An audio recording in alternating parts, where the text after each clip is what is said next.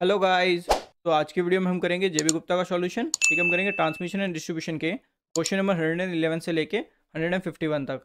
तो चलिए स्टार्ट करते हैं। In the transmission line the distributed constant are अब देखो डिस्ट्रीब्यूटेड कॉन्स्टेंट बोलने का मतलब क्या होता है? देखो डिस्ट्रीब्यूट मतलब बांटना। ठीक है? तो देखो, जो वायर है आपका, जो आप कोई भी एक वायर लेके आओ, ठीक है? उस वायर में हमें पता है कि रेजिस्टेंस है बट फिजिकली वो दिखता नहीं है। और वो रेजिस्टेंस एकदम बराबर बटा हुआ होता है पूरे वायर में। ठीक है? तो वायर में रेजिस्टेंस है क्लियर है। तो वैसे ही हम देखो, जब ट्रांसमिशन लाइन पढ़ते हैं, तीन तरह की पढ़ते हैं शॉर्ट मीडियम और लॉन्ग ठीक है? तो उनकी जब हम स्टडी करते हैं, या फिर जिसको बोले एनालिसिस करते हैं तो कैसे करते हैं देखो? पूरे वायर का रजिस्टेंस आप एक ऐसे, एक जगह पूरा कॉन्सेंट्रेट कर देते हो, ठीक है? वैसे आप इंडक्टेंस कर लिया, ठीक है? वैसे आपने कैपेसिटेंस कर दिया। आप ऐसे ही तो एनालिसिस करते हो, ठीक है? Short transmission line medium transmission line और लॉन्ग ट्रांसमिशन लाइन की। क्लियर है? अब इसमें देखो, जब आप एनालिसिस करते हो ना इनकी तो आप एक चीज़ कंसिडर करके चलते हो। कि जो शंट कंडक्टेंस है, उसको आप नेग्लेक्ट कर देते हो, ठीक है? बट एट द एंड वो होता तो है ना शंट कंडक्टेंस शंट कंडक्टेंस आपके ट्रांसमिशन लाइन में होता तो है ही है, ठीक है? बट हम बहुत वैल्यू कम होती है, इसलिए उसको नेग्लेक्ट करते हैं। बट ये भी आपका एक पैरामीटर है, ठीक है? तो shunt conductance capacitance resistance and inductance ठीक है? ये सारे आपके पैरामीटर होते हैं, जिनको हम बोलते हैं डिस्ट्रीब्यूटेड कॉन्स्टेंट ट्रांसमिशन लाइन में। क्लियर है? तो क्या हो जाएगा? Resistance inductance capacitance and shunt conductance तो डी ऑप्शन आपका correct answer skin effect depend upon यानी आपको जो स्किन इफ़ेक्ट होता है, ये किस पे डिपेंड करता है, ये पूछा है, ठीक है? अब देखो जो आने वाले जो दस क्वेश्चन है, वो आपके स्किन इफ़ेक्ट से रिलेटेड है। तो दस के दस क्वेश्चन पूरे देखना, तभी आपको पूरा स्किन इफ़ेक्ट समझ में आएगा, ठीक है? अब देखो जैसे, यहाँ पे पहले समझते हैं इस क्वेश्चन में कि स्किन इफ़ेक्ट क्या होता है, ठीक है? अब जैसे तो कोई भी कंडक्टर ले लो, या आपका कोई कंडक्टर है, ठीक है? अब इस कंडक्टर में आप देखो डीसी सप्लाई दे रहे हो तो डीसी में आपकी फ्रीक्वेंसी कुछ भी नहीं होगी, ठीक है? फ्रीक्वेंसी क्या होगी? ज़ीरो तो फ्रीक्वेंसी ज़ीरो होती है उस वजह से आपका इसमें कुछ भी इंडक्टेंस फॉर्म नहीं होता, ठीक है? कुछ भी इंडक्टेंस आपका डीसी सप्लाई के टाइम आपके कंडक्टर में कुछ भी इंडक्टेंस नहीं होता। कोई इंडक्टेंस नहीं होता, उस वजह से जो करंट है ना, वो करंट एकदम बराबर डिस्ट्रीब्यूट होता है। तो हम बोलते हैं यूनिफॉर्मली या फिर बोल सकते हो यूनिफॉर्म करंट डेंसिटी होती है आपके करंट की। तो ये आपका कोई कंडक्टर है, ठीक है? इसमें आप दे रहे हो डीसी सप्लाई दे रहे हो। डीसी सप्लाई देते टाइम जो करंट फ्लो होता है वो हर जगह बराबर होता है। यानी इस यहाँ पे भी करंट बराबर होगा, ठीक है? यहाँ पे भी बराबर, यहाँ पे भी बराबर।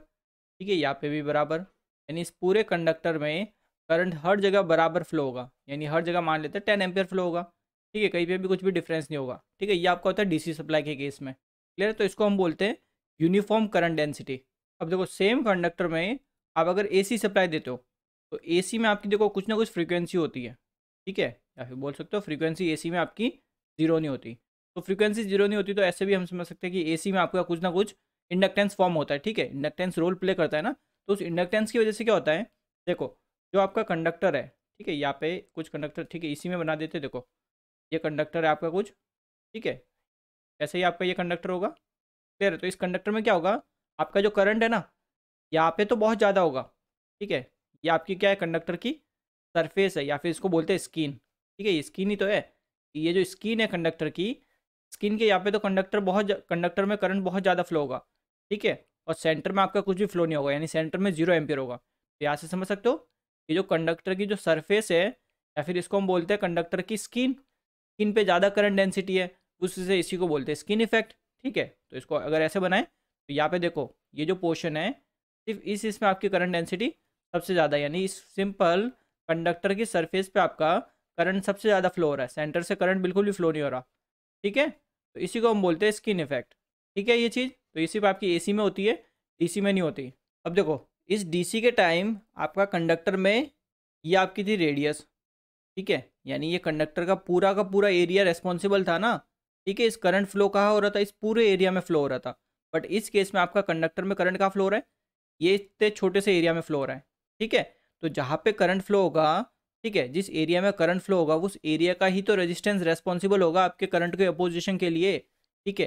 ये जो बीच वाला पोर्शन है, ठीक है, ये जो कंडक्टर के बीच वाला जो पोर्शन है, यानी यहाँ पे तो कुछ भी करंट फ्लो नहीं हो रहा तो यहाँ पे चाहे रेजिस्टेंस कितना भी हो, वो रेजिस्टेंस आपके करंट का अपोज नहीं कर रहा, ठीक है तो वो रेजिस्टेंस एक तरह से आपका काउंट नहीं होगा, ठीक है तो यहाँ पे सिंपल अगर देखो मैं आपको समझाऊँ, पहला पॉइंट तो लिखते हैं कि स्किन इफ़ेक्ट आपका होता है इंडक्टेंस की वजह से ड्यू टू इंडक्टेंस एंड दूसरा आप इसके साथ लिख सकते हो फ्रीक्वेंसी ठीक है बिकॉज़ आपकी एसी में फ्रीक्वेंसी का भी रोल प्ले करता है तो फ्रीक्वेंसी की वजह से, ठीक है, अब देखो दूसरा इसी में पॉइंट लिखते हैं कि जो देखो, यहाँ पे जो एरिया है, ठीक है जो ब्लैक वाला पोर्शन है ना ब्लैक वाला एरो इस इसमें आपका करंट फ्लो हो रहा है, यानी इतने एरिया में आपका करंट फ्लो हो रहा है, ठीक है? तो बेसिकली हम बोल सकते हैं ना कि पहले के कंपेयर में एरिया कम हो चुका है, ठीक है? इसको हम इफ़ेक्टिव एरिया बोलेंगे। इफ़ेक्टिव एरिया हमारा रिड्यूस हो गया, ठीक है स्किन इफ़ेक्ट की वजह से। तो इफ़ेक्टिव एरिया रिड्यूस हो गया, इसका मतलब क्या हुआ? कि रेजिस्टेंस हमारा बढ़ गया, यानी स्किन इफ़ेक्ट की वजह से रेजिस्टेंस बढ़ जाता है, ठीक है? और दूसरा इसी में एक और पॉइंट आता है कि इफ़ेक्टिव एरिया कम होने की वजह से आपका इंडक्टेंस भी कम हो जाता है, ठीक है? इंडक्टेंस कम होता है तो इसका मतलब हुआ इंडक्टिव रिएक्टेंस कम हो जाता है, ठीक है चीज़? इंडक्टिव रिएक्टेंस कैसे कम होता है देखो, जो आपका एल होता है इंडक्टेंस का फॉर्मूला होता है देखो म्यू नॉट म्यू आर ठीक है? एन का स्क्वायर ए डिवाइडेड बाय जो भी आपका करंट है। तो यहाँ पे हमने क्या देखा स्किन इफ़ेक्ट में? इफ़ेक्टिव एरिया कम हो रहा है तो उस उससे आपका इंडक्टेंस भी कम हो जाएगा। इंडक्टेंस कम होगा तो रिएक्टेंस कम हो जाएगा, ठीक है? तो ये जितने पॉइंट लिखा है सारे के सारे आपके एग्ज़ाम के लिए इंपॉर्टेंट है, ठीक है? ऑलरेडी क्वेश्चन पूछे गए तो इनको आप याद रखिए, ठीक है इतना? अब ये तो आपने समझ लिया स्किन इफ़ेक्ट क्या होता है, ठीक है? तो यहाँ से देखो स्किन इफ़ेक्ट आपका क्रॉस सेक्शनल एरिया पर डिपेंड कर रहा है सप्लाई फ्रीक्वेंसी पर डिपेंड कर रहा है परमिबिलिटी पर डिपेंड कर रहा है तो क्या बोलेंगे simple all of the above अब यहाँ पे आप समझ गए कि स्किन इफ़ेक्ट क्या होता है, ठीक है? अब फर्दर देखते हैं स्किन इफ़ेक्ट किस पर डिपेंड करता है, कैसे काम करता है वगैरह। Skin effect in transmission line is due to किसकी वजह से होता है? तो देखो, ये हमें बस समझ गए कि एक तो सप्लाई फ्रीक्वेंसी की वजह से होता है, ठीक है? और सप्लाई फ्रीक्वेंसी जैसे आती है आपका सेल्फ इंडक्टेंस भी कंडक्टर का रोल प्ले करने लगता है। ठीक है? तो आपका सिंपल ये क्या हो गया? बोथ ए एंड बी यानी डी ऑप्शन आपका करेक्ट आंसर अब यहीं पे देखो, एक और चीज़ समझते हैं कि स्किन इफ़ेक्ट और फ्रीक्वेंसी का रिलेशन क्या रहता है। ठीक है? तो इसको समझते देखो। ये आपका कोई कंडक्टर है। ठीक है? अब इसमें आपने दिए एसी सप्लाई ठीक है? अगर आप एसी सप्लाई दोगे तो इसमें हमें पता है स्किन इफ़ेक्ट होगा। यानी करंट जो है, वो आपकी उसके सरफेस से ज़्यादा फ्लो होगा। यानी ये आपकी सरफेस है। ठीक है? यहाँ से आपका करंट ज़्यादा फ्लो होगा। सेंटर से करंट आपका फ्लो नहीं होगा। और यहीं पे एक और चीज़ मैं आपको समझा देता हूँ। देखो, ये जो पोर्शन होता है ना, इसने एरिया कवर किया या फिर बोल सकते हो कि कितने रीजन में से आपका जो करंट फ्लो हो रहा है वो हम बोलते हैं, ठीक है, ये जो पोर्शन है ना, इसको हम बोलते हैं स्किन डेप्थ इसको हम लिखते हैं डेल से। ये चीज़ ठीक है? ये बहुत इंपॉर्टेंट है, ये डेल वाला कॉन्सेप्ट ठीक है? इसको ध्यान से समझना, देखो, ये जो डेल होता है ना, इसका फॉर्मूला आप याद रख लो बस, आपके पूरा स्किन इफ़ेक्ट हो जाएगा, ठीक है? तो इसका फॉर्मूला होता है रूट में टू अपॉन आपकी कंडक्टिविटी ठीक है देन ओमेगा देन आपकी परमिएबिलिटी ठीक है म्यू क्लियर है? ये फॉर्मूला आपको याद रखना है। बहुत ज़्यादा इंपॉर्टेंट है। अब देखो, अगर मैं आपको ऐसे बोलूँ कि आपका जो स्किन इफ़ेक्ट है स्किन इफ़ेक्ट ठीक है? ये आपका क्या हो गया? इंक्रीज हो गया। स्किन इफ़ेक्ट आपका इंक्रीज हो गया। अब देखो, ये बोलने का मतलब क्या होता है कि मैं बोलूँ कभी कि स्किन इफ़ेक्ट इंक्रीज हो रहा है। इसका मतलब होता है कि अब जो आपका करंट है, ठीक है, ये आपका कंडक्टर है। इसमें जो करंट फ्लो हो रहा है, देखो, अब ये जो एरिया है ना, ये एरिया क्या हुआ? या फिर जिसको बोलते इसको डेप्थ ठीक है? ये डेप्थ आपकी क्या हो गई? कम हो गई। ठीक है लेस तो स्किन इफ़ेक्ट बढ़ने का मतलब है कि करंट आपका और उल्टा उसके सरफेस के पास से ही फ्लो होगा। बीच में से बहुत कम करंट फ्लो होगा। ठीक है? यानी जो डेप्थ है ना, ये डेप्थ आपकी कम हो जाएगी। तो स्किन इफ़ेक्ट बढ़ेगा तो ये डेप्थ आपकी क्या होगी? कम होगी। ठीक है? बिकॉज़ स्किन इफ़ेक्ट यही तो होता है कि कंडक्टर के सरफेस से ज़्यादा करंट फ्लो होने लग जाए। तो स्किन इफ़ेक्ट बढ़ गया। इसका मतलब हो गया कि कंडक्टर की जो सरफेस है, वहीं से ज़्यादा करंट फ्लो हो रहा है। ठीक है चीज़? तो यहाँ पे देखो, ये जो डॉटेड है फ़र्स्ट केस में देखो, यहाँ पे स्किन इफ़ेक्ट इतना ज़्यादा नहीं था तो आपका थोड़ा एरिया ज़्यादा कवर था। यानी ये ज़्यादा एरिया था ना यहाँ पे बट यहाँ पे स्किन इफ़ेक्ट आपका बढ़ गया तो ये एरिया देखो बहुत कम हो गया, ठीक है? तो स्किन इफ़ेक्ट बढ़ेगा तो एरिया कम होगा एरिया कम होगा तो आपका रेजिस्टेंस बढ़ेगा, और जितना ज़्यादा स्किन इफ़ेक्ट उतनी आपकी डेप्थ कम होगी। तो यहाँ से एक और अगर मैं रिलेशन आपको लिखवाता हूँ तो देखो क्या बनता है सिंपल कि आपका जो स्किन इफ़ेक्ट है, ये आपका इन्वर्सली पोर्शन हो गया स्किन की डेप्थ से, ठीक है? जितना ज़्यादा स्किन इफ़ेक्ट उतनी ज़्यादा ये कम आपकी डेप्थ होगी। ठीक है चीज़? तो ये दोनों रिलेशन आप याद रखो बिकॉज़ बहुत ज़्यादा इंपॉर्टेंट है, ठीक है? इनसे क्वेश्चन बनते हैं, आपको बस रिलेट करना आना चाहिए बिकॉज़ सारे क्वेश्चन इसी से पूछे गए। अब देखो, जैसे स्टेप बाय स्टेप समझते ठीक है? अगर मैं फ्रीक्वेंसी को बढ़ाता हूँ, ठीक है? अगर फ्रीक्वेंसी बढ़ेगी तो इससे क्या होगा देखो? देखो फ्रीक्वेंसी यानी ये वाला फॉर्मूला देखो, ठीक है? स्किन डेप्थ वाला देखो। फ्रीक्वेंसी बढ़ेगी तो मेरा डेल कम होगा, ठीक है? यानी स्किन की डेप्थ कम होगी। तो स्किन की डेप्थ कम होगी इसका मतलब क्या हुआ कि मेरा स्किन इफ़ेक्ट बढ़ेगा, ठीक है? तो इसलिए हम क्या बोलते हैं कि फ्रीक्वेंसी के बढ़ने के साथ आपका स्किन इफ़ेक्ट भी बढ़ता है। डायरेक्ट रिलेशन में होते हैं ना दोनों, ठीक है? दोनों आपके डायरेक्ट रिलेशन में होते हैं, ठीक है? ये आपको याद है तो ये यहाँ से आता है ये रिलेशन दूसरा देखो रिलेशन ठीक है? आपके कंडक्टिविटी ठीक है? कंडक्टिविटी मतलब ये तो कंडक्टिविटी अगर बढ़ती है तो यहाँ से क्या होगा आपका? जो डेल है, ठीक है? डेल आपका क्या होगा? कम होगा, ठीक है? यानी स्किन की डेप्थ कम होगी तो स्किन की डेप्थ अगर कम होती है तो आपका स्किन इफ़ेक्ट क्या होगा? बढ़ेगा। अब एक सबसे इंपॉर्टेंट पॉइंट, देखो, मैं चाहता हूँ स्किन इफ़ेक्ट मेरा रिड्यूस हो जाए तो मैं इसको रिड्यूस कैसे कर सकता हूँ? ये चीज़ समझो, ठीक है? ये सबसे इंपॉर्टेंट पॉइंट है। आप क्या करो, अगर आपका जो कंडक्टर है ना, इस कंडक्टर की आप रजिस्टिविटी बढ़ा दो, ठीक है? तो देखो, अगर कंडक्टर की मैं रजिस्टिविटी बढ़ाऊँगा तो इससे क्या होगा? मेरी कंडक्टिविटी कम होगी, ठीक है? ये तो आपको पता है ना कि रजिस्टिविटी बढ़ती है तो कंडक्टिविटी कम होती है। तो कंडक्टिविटी अगर मेरी कम होगी तो मेरी डेप्थ क्या होगी? डेप्थ मेरी इंक्रीज हो जाएगी।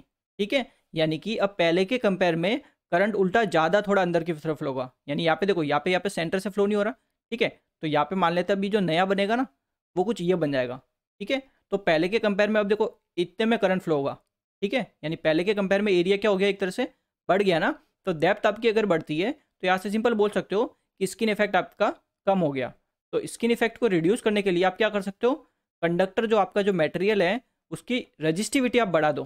ठीक है? रजिस्टिविटी उसकी बढ़ा दो। ये एक इंपॉर्टेंट पॉइंट है, जो आपको एग्ज़ाम में पूछा गया ऑलरेडी और एक और पॉइंट अगर आप लिखना चाहो तो ये भी लिख सकते हो कि आप अगर परमिएबिलिटी को बढ़ाते हो, ठीक है? परमिएबिलिटी अगर बढ़ाते हो, यानी म्यू तो परमिबिलिटी बढ़ाने के साथ आपकी डेप्थ कम होती है स्किन की। ठीक है? स्किन डेप्थ अगर कम होती है तो आपका जो स्किन इफ़ेक्ट है वो आपका इंक्रीज होता है। तो आप ये सब चीज़ें याद रखिएगा। ठीक है, बहुत ज़्यादा इंपॉर्टेंट है एग्ज़ाम में बिकॉज़ देखो, रट के कब तक काम चलाओगे? ठीक है, चीज़ों को समझ लो एक बार, ताकि फिर कभी रटना नहीं पड़ेगा। क्लियर है? तो ये सब चीज़ें आप समझ के रखो कि कैसे होता है। सिंपल आपको ये स्किन डेप्थ का फॉर्मूला याद होना चाहिए, और यही से हम समझ गए। यहाँ से एक चीज़ समझ गए कि स्किन इफ़ेक्ट बढ़ता है, इसका मतलब है कि जब ज़्यादा करंट उसकी सरफेस से फ्लो होगा, यानी ये एरिया कम हो जाएगा स्किन इफ़ेक्ट का बढ़ने का मतलब। ठीक है? यानी स्किन इफ़ेक्ट बढ़ेगा तो हमने बताया ना कि इफ़ेक्टिव एरिया कम हो जाएगा। ठीक है? इफ़ेक्टिव एरिया हमारा कम हो जाएगा। यानी पहले अगर ज़्यादा एरिया से करंट फ्लो हो रहा था, अब उल्टा और कम हो जाएगा एरिया ठीक है यहाँ पे बताया ना, ये एरिया और कम हो जाएगा। क्लियर है? ये चीज़ समझो स्किन इफ़ेक्ट का मतलब। ठीक है चीज़? तो अगला क्वेश्चन देखते हैं।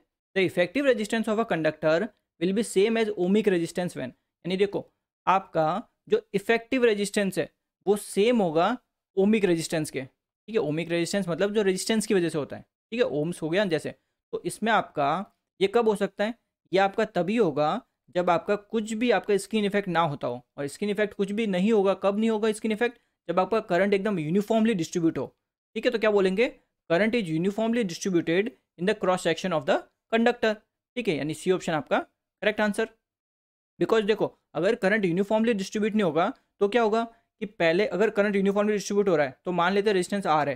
ठीक है बट सेकंड केस में अगर करंट यूनिफॉर्मली डिस्ट्रीब्यूट नहीं हो रहा तो आपका रेजिस्टेंस बढ़ जाएगा। ठीक है तो बट इसने क्या बोला? कि सेम होना चाहिए। तो सेम कब होगा? जब आपका करंट यूनिफॉर्मली डिस्ट्रीब्यूट हो जाए तो दोनों ही केस में आपका रेजिस्टेंस सेम हो जाएगा, ठीक है? When an alternating current flows through a conductor ठीक है? यानी देखो, किसी भी कंडक्टर में आप अगर एसी करंट फ्लो करवाते हो तो हमें पता है कि जो करंट है, वो उसकी सरफेस से ज़्यादा फ्लो होता है कंपेयर टू उसके सेंटर से, ठीक है? तो क्या बोलेंगे? Portion of the conductor near the surface carries more current in comparison to the core यही तो स्किन इफ़ेक्ट आपका। तो B option correct answer increasing the frequency of transmission line will तो देखो सिंपल मैंने आपको समझा दिया, देखो फ्रीक्वेंसी आप अगर बढ़ाओगे फ्रीक्वेंसी आप अगर इंक्रीज करते हो तो इससे क्या होगा? आपका स्किन इफ़ेक्ट बढ़ेगा, ठीक है? या फिर दूसरे, दूसरी टर्म में आपको लिखाओ, आपको फ्रीक्वेंसी बढ़ाओगे तो स्किन डेप्थ आपकी क्या होगी? कम होगी, ठीक है? स्किन डेप्थ अगर कम होगी तो आपका स्किन इफ़ेक्ट बढ़ेगा एंड स्किन इफ़ेक्ट बढ़ेगा तो आपका जो इफ़ेक्टिव एरिया है, ठीक है? इफ़ेक्टिव जो क्रॉस सेक्शनल एरिया होगा, वो क्या हो जाएगा? आपका रिड्यूस हो जाएगा, और एरिया अगर आपका रिड्यूस होगा तो रेजिस्टेंस क्या हो जाएगा? सिंपल बढ़ जाएगा। ठीक है? तो सिंपल क्या बोलेंगे? कि फ्रीक्वेंसी को बढ़ाने से स्किन इफ़ेक्ट बढ़ता है और स्किन इफ़ेक्ट के बढ़ने की वजह से रेजिस्टेंस भी आपका बढ़ जाता है। तो क्या बोलेंगे? इंक्रीज लाइन रेजिस्टेंस यानी सी ऑप्शन आपका करेक्ट आंसर बिकॉज़ बाकी चीज़ें आप देख भी सकते हो ऑप्शन देखो। आपका एक है देखो शंट रिएक्टेंस एक आपका है सीरीज़ रिएक्टेंस तो शंट का मतलब होता है कैपेसिटेंस की बात करता है। ठीक है? तो कैपेसिटेंस में देखो क्या होता है? एक्सी आपका, ठीक है? एक्सी कैसे लिखते हैं? One upon J omega C J omega C तो फ्रीक्वेंसी यहाँ पे देखो, यानी ओमेगा इंक्रीज कर रहे हो ओमेगा इंक्रीज करोगे तो एक्सी तो क्या होगा? कम होगा। बट ऑप्शन में इसने बोला इंक्रीज तो ये तो वैसे ही गलत हो गया। ठीक है सीरीज़ रिएक्टेंस मतलब ये एक्सएल की बात कर रहा है। तो एक्सएल का फॉर्मूला क्या होता है? J omega L J omega L तो यहाँ पे फ्रीक्वेंसी बढ़ा रहे हो, यानी ओमेगा बढ़ा रहे हो तो ओमेगा बढ़ेगा तो एक्सएल क्या होगा? बढ़ना चाहिए। तो यहाँ पे बता रहे डिक्रीज तो ये भी गलत हो गया। ठीक है तो सिंपल क्या होगा कि रजिस्टेंस आपका बढ़ जाएगा, आप अगर फ्रीक्वेंसी को इंक्रीज करते हो तो। क्लियर है आपका? तो अगला क्वेश्चन देखते हैं। स्किन इफ़ेक्ट एग्जिस्ट इन ठीक है तो ऑलरेडी समझा दिया मैंने डीसी में आपका स्किन इफ़ेक्ट नहीं होता, ये सिर्फ़ आपका एसी ट्रांसमिशन लाइन में होता है। ठीक है तो क्या बोलेंगे simple AC transmission line only यानी सी ऑप्शन आपका करेक्ट आंसर स्किन इफ़ेक्ट आपका स्किन इफ़ेक्ट क्या करता है, ये पूछा है। ठीक है तो अभी हमने समझ लिया कि स्किन इफ़ेक्ट हमेशा हमारा जो एरिया होता है इफ़ेक्टिव एरिया इसको कम कर देता है। ठीक है, और इफ़ेक्टिव एरिया कम होने की वजह से हमारा जो रजिस्टेंस है, ठीक है, बोल सकते हो या फिर जो आपका इफ़ेक्टिव रेजिस्टेंस बोल सकते हो, उसको ये बढ़ा देता है, ठीक है? एंड आपका जो इंडक्टेंस है एल इसको कम कर देता है, ठीक है? तो इंडक्टेंस को कम करने का मतलब क्या होता है कि ये एक्सेल को कम कर देता है, यानी जो इसका रिएक्टेंस है तो ये क्या कर देता है? कम कर देता है, ठीक है? ये चीज़ मैं ऑलरेडी आपको डिटेल में समझा चुका हूँ, ठीक है? स्टार्टिंग के क्वेश्चन में आपको समझा दिया था कि मैंने ये आपको बोला भी था कि याद रखना ये आपके लिए इंपॉर्टेंट है, ठीक है? तो रेजिस्टेंस को तो बढ़ाता है और एक्सेल को कम करता है, ठीक है? स्किन इफ़ेक्ट आपका, क्या बोलेंगे? Increase the effective resistance but reduce the effective internal reactance यानी सी ऑप्शन आपका correct answer skin of a conductor reduce with the increase in यानी आपका स्किन इफ़ेक्ट ठीक है, किसी भी कंडक्टर का रिड्यूस होता है इसके बढ़ने के साथ। देखो सप्लाई फ्रीक्वेंसी बढ़ाते हो, तब तो स्किन इफ़ेक्ट इंक्रीज होता है तो ये तो गलत हो गया। ठीक है एरिया ऑफ़ क्रॉस सेक्शनल के साथ भी बढ़ता है परमेबिलिटी ऑफ़ कंडक्टर के साथ भी ये बढ़ता है।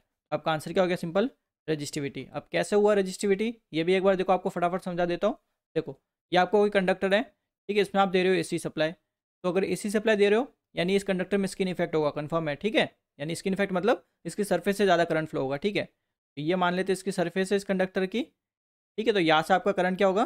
ज़्यादा फ्लो होगा, यानी करंट डेंसिटी यहाँ पे आपकी ज़्यादा होगी कंपेयर टू इसके कोर में. यानी इसका जो सेंटर है, वहाँ पे आपका करंट कम फ्लो होगा. यहाँ तक आपका ठीक है? तो यहाँ पे देखो, यहाँ पे एक टर्म आती है, ठीक है? ये जो एरिया है ना, जिस एरिया में से ये करंट फ्लो होता है, यानी जिस पर्टिकुलर एरिया के लिए, ठीक है, ये जो पोर्शन है इतना इस इसमें आपका करंट फ्लो हो रहा है। तो इस एरिया को हम बोलते हैं स्किन डेप्थ और इसको हम लिखते हैं डेल, ठीक है? तो और जो डेल का जो फॉर्मूला होता है है डेल यानी स्किन डेप्थ का, ये आपका होता है देखो रूट टू अपॉन आपकी कंडक्टिविटी, देन ओमेगा, देन आपकी परमिएबिलिटी। तो क्वेश्चन में मेंशन किया है कि skin effect of the conductor reduces, ठीक है? तो यानी कि देखो यहाँ पे समझना देखो, मैं इंक्रीज़ कर रहा हूँ, ठीक है? स्किन इफ़ेक्ट को क्या कर रहा हूँ? बढ़ा रहा हूँ। तो स्किन इफ़ेक्ट बढ़ेगा इसका मतलब क्या होगा? कि जो आपका इफ़ेक्टिव एरिया वो क्या होगा? कम होगा। यानी कि ये जो एरिया है ना, ये आपका देखो, ये डॉटेड लाइन और ये आपके कंडक्टर की स्किन इसके बीच में जो एरिया है ना, ये आपका क्या होगा? कम हो जाएगा। ठीक है? अगर स्किन इफ़ेक्ट बढ़ेगा तो। तो ये आपका कंडक्टर हो गया। ठीक है? एरिया आपका कम होना चाहिए तो ये हमने कम कर दिया। ठीक है? अब देख सकते हो, ये एरिया पहले के कंपेयर में कम हो चुका है ना? पहले के कंपेयर में ये एरिया आपका कम हो गया। यानी पहले आपका करंट ज़्यादा एरिया से फ्लो हो रहा था, अब आपका ये कम एरिया से फ्लो हो रहा है। ठीक है? और इसमें आप देख सकते हो, जो इस केस में जो डेप्थ है, ठीक है, जो स्किन डेप्थ है, ये पहले के कंपेयर में क्या है? कम है, लेस है ना? ठीक है? तो यहाँ से आप एक रिलेशन क्या समझते हो? कि आपका जो स्किन इफ़ेक्ट है, ये और ये आपका स्किन डेप्थ है, ये दोनों इन्वर्स रिलेशन में रहते हैं।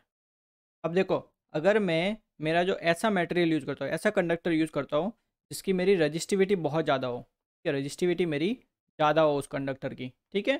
तो रजिस्टिविटी अगर ज़्यादा होगी तो उस मटेरियल की कंडक्टिविटी कम होगी, ठीक है? अगर उस मटेरियल की कंडक्टिविटी कम होगी तो उसकी जो स्किन डेप्थ है, वो क्या हो जाएगी? आपकी बढ़ जाएगी, ठीक है? स्किन डेप्थ अगर बढ़ जाएगी तो आपका स्किन इफ़ेक्ट क्या हो जाएगा? रिड्यूस हो जाएगा।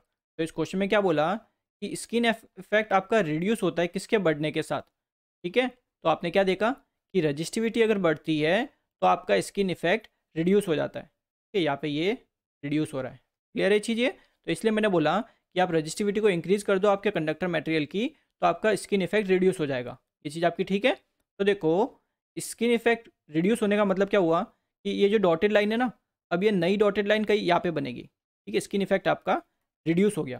तो रिड्यूस हुआ इसका मतलब हुआ कि आपका जो एरिया है, ठीक है? स्किन इफ़ेक्ट अगर रिड्यूस हुआ, इसका मतलब जो इफ़ेक्टिव एरिया है, वो आपका बढ़ गया। ठीक है? तो इफ़ेक्टिव एरिया बढ़ गया मतलब देखो, पहले ही आपका इतना सा एरिया था ना, इतना सा एरिया था जिसमें करंट फ्लो हो रहा था। अब आपका ये यहाँ तक एरिया हो गया, ठीक है? तो एरिया आपका बढ़ गया, ठीक है? यानी स्किन इफ़ेक्ट भी आपका कम हो चुका है। तो रजिस्टिविटी को अगर बढ़ाते हो मटेरियल की तो आपका स्किन इफ़ेक्ट कम हो जाता है, ठीक है? तो ये क्वेश्चन आपके एग्ज़ाम के लिए भी इंपॉर्टेंट है, इसको आप याद रखिए। बिकॉज़ तो देखो, पहले के कंपेयर में अब आपका करंट ना यहाँ पे भी फ्लो होगा, ठीक है? तो रजिस्टिविटी आपने बढ़ाई तो क्या हुआ? करंट आपका देखो, और अंदर की तरफ़ भी फ्लो होने लग गया, ठीक है? यानी करंट अच्छे से डिस्ट्रीब्यूट होने लग गया, और रजिस्टिविटी बढ़ाते हो तो करंट यहाँ पे भी फ्लो होने लग जाएगा। ठीक है? तो पूरे कंडक्टर में आपका करंट यूनिफॉर्मली डिस्ट्रीब्यूट हो जा, हो सकता है, अगर आप रजिस्टिविटी उसके बढ़ा देते हो। ठीक है? तो अगला क्वेश्चन देखते हैं। Skin effect in a conductor is proportional to ठीक है? तो सिंपल आपका ये अपने डायमीटर के स्क्वायर के प्रोपोर्शनल होता है। ठीक है? डायमीटर पे कैसे प्रोपोर्शनल होता है, ये तो आप समझ ही सकते हो। बिकॉज़ आपका स्किन इफ़ेक्ट एरिया के डायरेक्टली प्रोपोर्शनल होता है। ठीक है? एरिया बढ़ेगा तो आपका बेसिक मतलब वही हुआ कि आप पाई आर स्क्वायर अगर सर्कुलर कंडक्टर लेते हो तो एरिया क्या होगा? पाई आर स्क्वायर ठीक है? आर स्क्वायर में अगर उसको डायमीटर के टर्म में लिखोगे तो डी बाई टू का स्क्वायर तो डी स्क्वायर के प्रोपोर्शनल होगा। ठीक है तो सिंपल इसलिए क्या बोलेंगे? ये ऑप्शन आपका correct answer in order to reduce the skin effect at ultra high frequency ठीक है तो देखो, आपको अगर स्किन इफ़ेक्ट रिड्यूस करना है अल्ट्रा हाई फ्रीक्वेंसी पे, ठीक है तो अल्ट्रा हाई फ्रीक्वेंसी बोलने का मतलब क्या है? कि फ्रीक्वेंसी आपकी बहुत ज़्यादा है। फ्रीक्वेंसी आपकी बहुत ज़्यादा है, ठीक है, बहुत ज़्यादा। तो अगर फ्रीक्वेंसी अगर बहुत ज़्यादा होगी तो आपकी स्किन डेप्थ क्या होगी? बहुत कम होगी। स्किन डेप्थ आपकी बहुत कम होगी। ठीक है स्किन डेप्थ मैंने बता रखा है फॉर्मूला ठीक है? आपको बोला भी है, बहुत इंपॉर्टेंट है, इसको याद रखिए। ठीक है रूट टू अपॉन ये आपका था कंडक्टिविटी ओमेगा देन म्यू ठीक है, ये आपका रूट में था। तो ये जैसे आपको कंडक्टर है, ठीक है? अब देखो, ये पूरा कंडक्टर में आपका पूरा एकदम बराबर कंडक्टर ठीक है? नॉर्मल जैसा कंडक्टर होता है, वैसा वायर है। इसमें अगर आपका फ्रीक्वेंसी बहुत ज़्यादा होगी, ठीक है? फ्रीक्वेंसी बहुत ज़्यादा है तो आपका जो डेप्थ है, वो बहुत कम होगी, ठीक है? तो डेप्थ देखो, एकदम मैं छोटी सी बनाता हूँ। ये आपकी एकदम छोटी सी डेप्थ हो गई, ठीक है? ये जो छोटा सा बहुत एकदम कम मामूली एरिया दिख रहा है ना, सिर्फ़ इस इसमें आपका करंट फ्लो होगा, ठीक है? इतने से पोर्शन में आपका करंट फ्लो हो रहा है, और बीच में आपका कुछ भी करंट फ्लो नहीं हो रहा, ठीक है? कंडक्टर की सरफेस में सिर्फ़ करंट फ्लो हो रहा है ना, ठीक है? तो अब यहाँ पे देखो, आपका जो इस कंडक्टर का जो बीच वाला मटेरियल है, ये तो आपका कुछ काम का नहीं है ना, फालतू है, फालतू आपने इतना मोटा कंडक्टर बनाया बीच वाले इस मटेरियल का कोई ज़रूरत ही नहीं है तो आप क्या करो, ऐसा मत बनाओ, आप क्या करो सिंपली एक कंडक्टर लो, ठीक है? एक जिसको हम बोलते हैं होलो कंडक्टर ठीक है? खोखला कंडक्टर होता है ना, इसके बीच में आपका कुछ भी नहीं होता। इस टाइप का आपका कंडक्टर यूज़ करो। तो हम इसके लिए यूज़ करते हैं कॉपर ट्यूब ठीक है? तो कॉपर ट्यूब मतलब आपकी जो नॉर्मल जो ट्यूब होता है वैसा ही, यानी बीच में आपका कुछ भी मटेरियल यूज़ नहीं कर रहे हैं। बिकॉज़ हमें पता है अगर फ्रीक्वेंसी बहुत ज़्यादा है तो ये डेप्थ वैसे ही कम होगी, यानी करंट उसके सरफेस से ही फ्लो होगा। उसके बीच में जो कोर है, वहाँ से आपका बिल्कुल भी करंट फ्लो नहीं होगा। तो आप सिंपल क्या करो कॉपर की ट्यूब यूज़ कर दो। बिकॉज़ कॉपर की ट्यूब क्या होगी? बीच में कुछ भी मटेरियल नहीं होगा। और बीच में कोई मटेरियल नहीं है तो वैसे वहाँ पे कोई करंट फ्लो नहीं होना। तो हमें चाहिए भी तो नहीं मटेरियल तो इसलिए हम यूज़ करते हैं कॉपर ट्यूब ठीक है, ये आपकी हो गई कॉपर की ट्यूब हो गई। ठीक है बिकॉज़ फ्रीक्वेंसी बहुत ज़्यादा है तो करंट आपका सिंपल यहाँ यहाँ से ही फ्लो होगा। बीच में से कोई करंट फ्लो होगा नहीं। ठीक है तो इसलिए हम क्या करते हैं सिंपल कॉपर ट्यूब यूज़ करते हैं। ठीक है, और कॉपर की ही क्यों यूज़ करते हैं? बिकॉज़ कॉपर की आपकी जो कंडक्टिविटी होती है, वो ज़्यादा होती है। ठीक है कॉपर की कंडक्टिविटी ज़्यादा होगी तो ये जो डेप्थ है ये और कम हो जाएगी। तो फ्रीक्वेंसी की वजह से तो डेप्थ कम हो ही चुकी है। कॉपर यूज़ किया, इसलिए उसकी डेप्थ और कम हो गई। यानी कि अब और आपकी जो कॉपर ट्यूब है ना, उसकी सिंपली इसके सरफेस से ही करंट फ्लो होगा। बीच में से कुछ भी करंट फ्लो नहीं होगा। ठीक है? तो कॉपर ट्यूब हम इसलिए यूज़ करते हैं। और थोड़ी आपकी कंडक्टिविटी भी बढ़ जाए, इसलिए हम इसमें सिल्वर प्लेटिंग कर देते हैं। ठीक है चीज़? तो ये ऑप्शन आपका correct answer a hundred kilometre long transmission line is loaded at one ten K V if the loss of the line is fifteen mega watt and the load is one fifty mega volt ampere. The resistance of the line is, resistance क्या होगा ये पूछा है, ठीक है? अब देखो, जो आपकी नॉर्मल अपेरेंट पावर लिखते हो, ठीक है? क्या होती है? रूट थ्री, आपका जो भी लाइन वोल्टेज है, मल्टीप्लाइड विथ आपका लाइन करंट। तो यहाँ से अगर मैं लाइन करंट निकालता हूँ तो कितना मिलेगा? जो भी आपकी अपेरेंट पावर है, divided by root three multiplied with आपका जो भी लाइन वोल्टेज है, ठीक है? तो यहाँ से सिंपल देखो, मैं लाइन करंट निकालता हूँ, ठीक है? पावर मेरी कितनी है? वन फिफ्टी ठीक है, देख सकते हो one fifty mega volt ampere ठीक है तो वन फिफ्टी इंटू टेन की पावर सिक्स डिवाइडेड बाय आपका रूट थ्री मल्टीप्लाइड विथ आपका वी एल वोल्टेज आपका देखो कितना वन टेन के वी ठीक है वन टेन इंटू टेन की पावर थ्री बिकॉज़ ये के वी में, ठीक है तो आप सिंपली सॉल्व करो कैलकुलेटर से तो आपको जो लाइन करंट मिला इस केस में, ठीक है, ये आपका आ गया seven eighty eight point two two ampere अब देखो पावर लॉस क्या हो जाएगा simple therefore power loss simple क्या होता है? करंट, ठीक है इंटू आपका करंट का स्क्वायर इंटू आपका रेजिस्टेंस ठीक है आर एल अब सिंस थ्री फ़ेज़ है तो ये आपका थ्री से मल्टीप्लाई हो जाएगा। पावर लॉस कितना दे रखा है? फिफ्टीन मेगा वॉट तो फिफ्टीन इंटू टेन की पावर आपका ये six equals to three into आपका लाइन करंट हमने निकाल चुके seven eighty eight point two two ठीक है, इसका स्क्वायर मल्टीप्लाइड विथ आपका आर एल जो कि आपको निकालना है। तो यहाँ से थ्री से फिफ्टीन या फाइव टाइम चला जाएगा। इसको सिंपली सॉल्व करेंगे। तो यहाँ पे आपको जो रेजिस्टेंस मिल जाएगा, ये कितना आ जाएगा? Eight point zero four ohm ठीक है? आपका सिंपल आंसर क्या हो जाएगा? Eight point zero six ohm per phase यानी ए ऑप्शन आपका correct answer the component inductance due to the internal flux linkage of a non magnetic straight solid circular conductor per metre length has a constant value and is independent of the conductor diameter because देखो जैसे आपका कोई conductor है, ठीक है? मान लेते ये हमारा कोई कंडक्टर है। क्लियर है इतना? अब देखो इस कंडक्टर का कुछ ना कुछ क्या होगा? डायमीटर होगा। ठीक है, डायमीटर यानी कि रेडियस होगी। ये आपका आर हो गया। ठीक है इतना? और इस कंडक्टर में कुछ ना कुछ आपका करंट फ्लो हो रहा होगा। मान लेते आई ठीक है इतना? अब देखो, ये कंडक्टर जो है, इसका एक तो आपका खुद का इंटरनल फ्लक्स लिंकेज होगा। क्लियर है? तो इंटरनल फ्लक्स लिंकेज का फॉर्मूला क्या होता है? Mu naught I upon eight pi ठीक है? और एक आपका होगा एक्सटर्नल फ्लक्स लिंकेज ठीक है? तो एक्सटर्नल का फॉर्मूला क्या होगा? इंटीग्रेशन करेंगे सिंपल आर से infinite mu naught I upon two pi X और किसके रेस्पेक्ट में कर रहे हैं? डी एक्स के रेस्पेक्ट में, ठीक है? तो जो टोटल फ्लक्स होगा इस पर्टिकुलर कंडक्टर का, वो कितना हो जाएगा? दोनों को ऐड कर देंगे, ठीक है? सिंपली दोनों को ऐड कर दिया। तो ऐड करेंगे तो mu naught I upon two pi common आ जाएगा, बाकी अंदर ये फॉर्मूला बन जाएगा, ठीक है? अब यहाँ पे देखो, यहाँ पे जो वन बाय फोर है ना, ठीक है वन बाय फोर ये आपका क्या रिप्रेजेंट करता है? ये आपका रिप्रेजेंट करता है इंटरनल फ्लक्स लिंकेज को, और वन बाय फोर आपका क्या है? एक कॉन्स्टेंट वैल्यू है, ठीक है? एक कॉन्स्टेंट वैल्यू है ना वन बाय फोर तो आपकी क्लियर है? वन बाय फोर आपकी कॉन्स्टेंट है एंड और क्या बता सकते हो? देखो यहाँ पे ना तो आपका कोई रेडियस है, ना आपका कंडक्टर का डायमीटर है, यानी आपका इंटरनल फ्लक्स लिंकेज ना तो आपके डायमीटर पे डिपेंड कर रहा है, ठीक है, ना ही रेडियस पे डिपेंड कर रहा है। तो क्या लिख सकते हैं simple not depend on diameter diameter किसका? आपके कंडक्टर का, ठीक है? क्वेश्चन में देखो इसने ये बोला था कि जो आपका इंटरनल फ्लक्स लिंकेज होता है, ठीक है, उसकी एक कॉन्स्टेंट वैल्यू होती है, ठीक है, कितनी होती है? वन बाय फोर और ये आपका इंडिपेंडेंट होता है कंडक्टर डायमीटर के। अब क्यों इंडक्ट इंडिपेंडेंट होता है ये पूछा है, ठीक है? तो देखो, यहाँ पे करंट तो आपका एसी फ्लो होता है ना ठीक है? एसी फ्लो होता है। एसी में आपकी फ्रीक्वेंसी हम नॉर्मली कितनी लेते हैं हमारे? फिफ्टी हर्ट लेते हैं। ठीक है? तो ये फ्रीक्वेंसी इतनी ज़्यादा नहीं है, ठीक है? नॉर्मल है। तो हम ऐसा जूम करके चलते हैं कि हमारा स्किन इफ़ेक्ट बिल्कुल भी नहीं हो रहा। ठीक है? फिफ्टी हर्ट्स पे स्किन इफ़ेक्ट बिल्कुल भी नहीं हो रहा। यानी जो करंट हमारा है, वो एकदम यूनिफॉर्मली डिस्ट्रीब्यूटेड है। अगर करंट हमारा यूनिफॉर्मली डिस्ट्रीब्यूट होगा, तभी आपका इंटरनल फ्लक्स लिंकेज आपके डायमीटर पे डिपेंड नहीं करेगा। ठीक है? तो ऐसा हम ज्यूम करके चलते हैं कि जो करंट फ्लो और आपके कंडक्टर में, वो आपका यूनिफॉर्मली डिस्ट्रीब्यूट हुआ है। पूरे कंडक्टर के क्रॉस सेक्शन में, ठीक है? अगर ऐसा आप ज्यूम नहीं करते तो इंटरनल फ्लक्स लिंकेज फिर आपके इंडिपेंडेंट नहीं होगा कंडक्टर डायमीटर के साथ क्लियर है? तो डी ऑप्शन आपका करेक्ट आंसर और आपके फार्मूले आपको याद रखने, ठीक है? आपके इंटरनल का भी कभी कभार पूछ लेते हैं और एक्सटर्नल का भी कभी कभार पूछ लेते हैं और कभी कभार आपको टोटल भी पूछ लेते हैं। Consider a long two wire line compose of solid round conductor the radius of both conductor is point two five centimetre and the distance between their centre is one metre if this distance is double then the inductance per unit length देखो, दो wire के लिए बोला है, ठीक है? तो पहले दो वायर के लिए जो आपका इंडक्टेंस होता है, वो देख लेते हैं, देखो।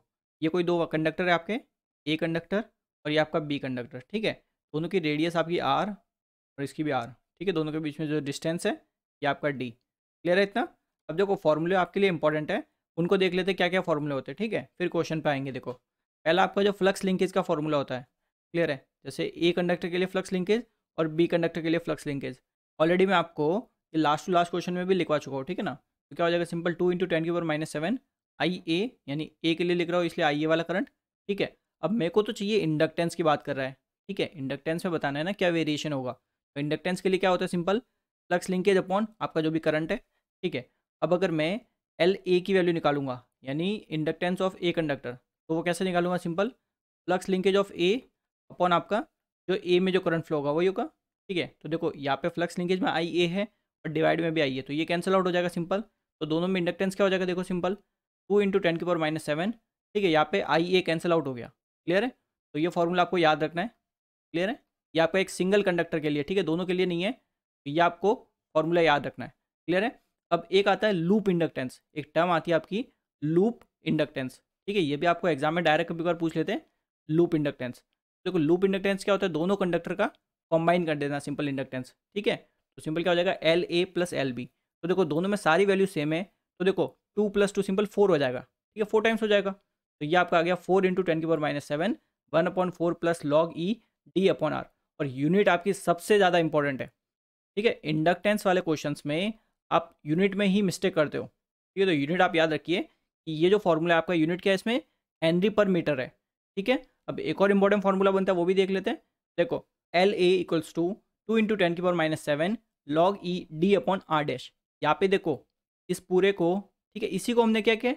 मॉडिफाई करके ये लाया ठीक है? मॉडिफिकेशन किया इसमें और हमें ये फॉर्मूला मिला, ठीक है? तो ये फॉर्मूला भी आपके एग्ज़ाम के लिए बहुत इंपॉर्टेंट है, ठीक है? तो मैंने तीन स्टार लगाए, तीनों फार्मूला आपको मुँह पे याद होने चाहिए, ठीक है? इतने इंपॉर्टेंट है फॉर्मूले देखो, यहाँ पे जो आर डैश है, ये आपका होता है इफ़ेक्टिव रेडियस कंडक्टर की इफ़ेक्टिव रेडियस की वैल्यू आपको डायरेक्ट याद रखनी है। देखो पॉइंट सेवन सेवन ठीक है एट एट इंटू आपका रेडियस जो भी है कंडक्टर की, ठीक है तो ये आपको डायरेक्ट याद रखना है। ये बहुत इंपॉर्टेंट है क्लियर है? और यहाँ पे point seven seven eight eight ये सब आपको पता होगा कहाँ से आती है? ई की पावर वन बाय फोर होता है, ठीक है? तो ये आपके तीन फॉर्मूले हो गए जो आपको दो कंडक्टर यानी टू वायर लाइन के लिए आपको याद होने चाहिए फॉर्मूले ठीक है, चीज़ अब देखो सिंपल इस क्वेश्चन पे आता है, ठीक है? क्वेश्चन में देखो क्या बोला इसने कि आपका जो इंडक्टेंस है, ठीक है, सिंपल एक के लिए देखेंगे तो एल ए लिख लेता हूँ, ठीक है? अब यहाँ पे हमने देखा कि देखो, यहाँ पे ये आपका प्रोपोर्शनल होता है सिंपल लॉग ई ठीक है डी अपॉन आर डैश के क्लियर है इतना? बिकॉज़ टू इंटू टेन की पावर माइनस सेवन तो दोनों केस में सेम ही रहेगी ना चीज़, ठीक है? यानी इसने देखो फ़र्स्ट केस लेते हैं तो फ़र्स्ट केस इसने बोला है कि जो रेडियस आपकी है रेडियस कितनी दी इसने?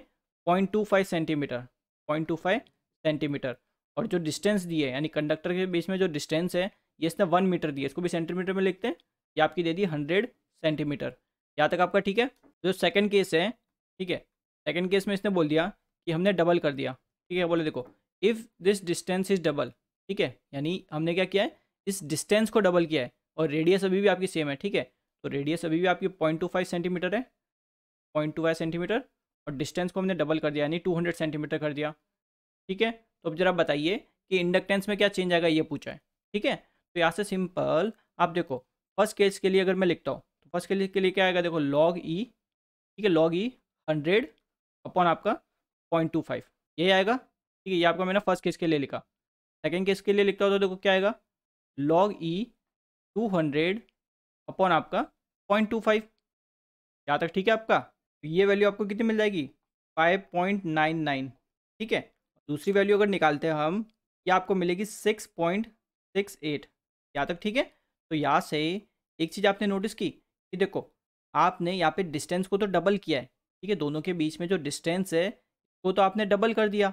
बट डिस्टेंस को डबल करने की वजह से देखो, आपका जो वैल्यू है, यानी जो इंडक्टेंस की वैल्यू है, वो डबल नहीं हुई है। बिकॉज़ यहाँ पे देखो, यहाँ पे अगर डबल होती तो इसको अप्रोक्सीमेट मैं सिक्स लिख सकता हूँ। तो सिक्स का डबल ट्वेल्व यानी मेरे को ट्वेल्व मिलना चाहिए था बट मेरे को मिल कितना रहा है? सिक्स पॉइंट सिक्स एट मिल रहा है, यानी मेरा डबल नहीं हुआ है, ठीक है? इंक्रीज ज़रूर हुआ है, ठीक है? इंक्रीज ज़रूर हुआ है आपका इंडक्टेंस बट डबल नहीं हुआ, ठीक है? बट नॉट डबल डबल होता तो मेरा यहाँ पे क्या होता? ट्वेल्व होना चाहिए था, ठीक है? यानी यहाँ पे अगर ये सिक्स है तो सिक्स का डबल तो ट्वेल्व मिलना चाहिए ना मेरे को बट ट्वेल्व नहीं मिल रहा, मेरे को कितना मिल रहा है? सिक्स पॉइंट सिक्स एट मिल रहा है क्लियर है? इंक्रीज हो गया बट डबल नहीं हुआ है, ठीक है चीज़ वरना कुछ लोग क्या देखते हैं? कि सिंस इंडक्टेंस आपका देखो लॉग ई डी तो डी को अगर आप डबल करते हो तो इंडक्टेंस भी डबल हो जाए। तो जल्दबाजी में ऐसा नहीं करना बिकॉज़ लॉग में आपका, ऐसा नहीं है कि लॉग की वैल्यू डबल कर रहे हो तो आपको ओवरऑल डबल हो जाएगा वो वैल्यू ठीक है? तो हम सिंपल क्या बोलेंगे कि इंक्रीज तो होगा बट डबल नहीं होगा। यानी सी ऑप्शन आपका correct answer the inductance of a single phase two wire power transmission line per kilometre gets double when the अब देखो इंडक्टेंस का फॉर्मूला हमने अभी देखा, ठीक है, मैं पर फ़ेज़ के लिए लिख रहा हूँ।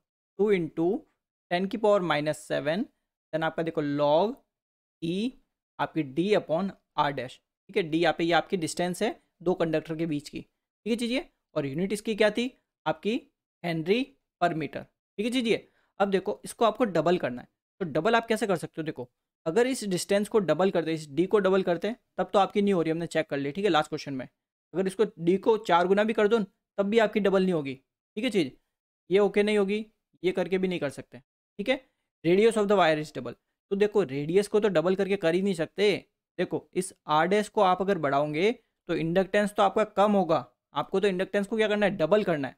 तो डबल कैसे कर सकते हैं? सिंपल क्या करो, जो डिस्टेंस है ना distance between the wire is increase as the square of original distance यानी कि इसका स्क्वायर कर दो। तो यहाँ पे देखो सिंपल यहाँ पे स्क्वायर को हटा के ये आपकी रूट में आ जाएगी। ठीक है देन ये इस पूरे का होल स्क्वायर अब देखो, जैसे आपने स्क्वायर लिया तो ये पावर आपकी क्या आ जाएगी? आगे शिफ्ट हो जाएगी, ठीक है? यानी पावर आपकी यहाँ पे आ जाएगी। तो बोल सकते हो कि इंडक्टेंस आपका डबल हो जाएगा, ठीक है? ऐसा आपका ये डबल हो सकता है। तो सी ऑप्शन आपका correct answer inductance of an overhead line in comparison to that of a cable of same capacities ठीक है? तो इंडक्टेंस आपके ओवरहेड लाइन का बहुत ज़्यादा होता है तो ये ऑप्शन आपका करेक्ट आंसर अब ज़्यादा क्यों होता है? देखो ओवरहेड लाइन में तो ये आपकी हो गई ओवरहेड लाइन ठीक है? ये आर फ़ेज़ ये वाई फ़ेज़ और ये आपका बी फ़ेज़ ठीक है? तो इनमें क्या होता है ओवरहेड लाइन में ये जो डिस्टेंस होती है ना कंडक्टर के बीच की डिस्टेंस डी ठीक है? ये आपकी लार्ज होती है, ठीक है? डिस्टेंस आपकी लार्ज होती है।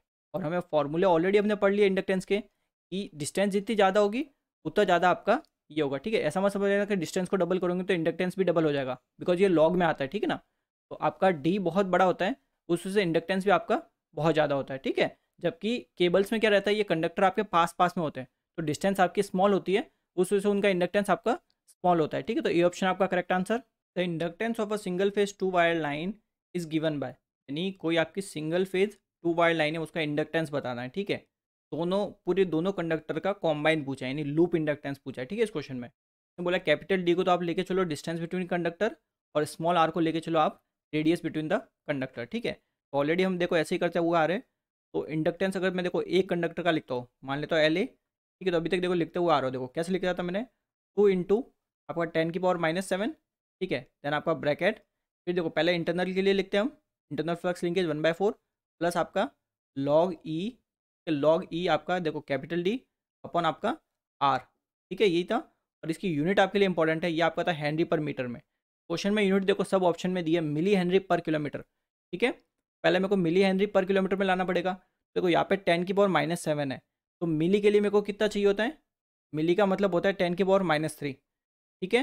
तो यहाँ से मैं टेन के पावर माइनस थ्री रिमूव कर देता हूँ और इसको मैं मिली में लिख लेता हूँ, ठीक है?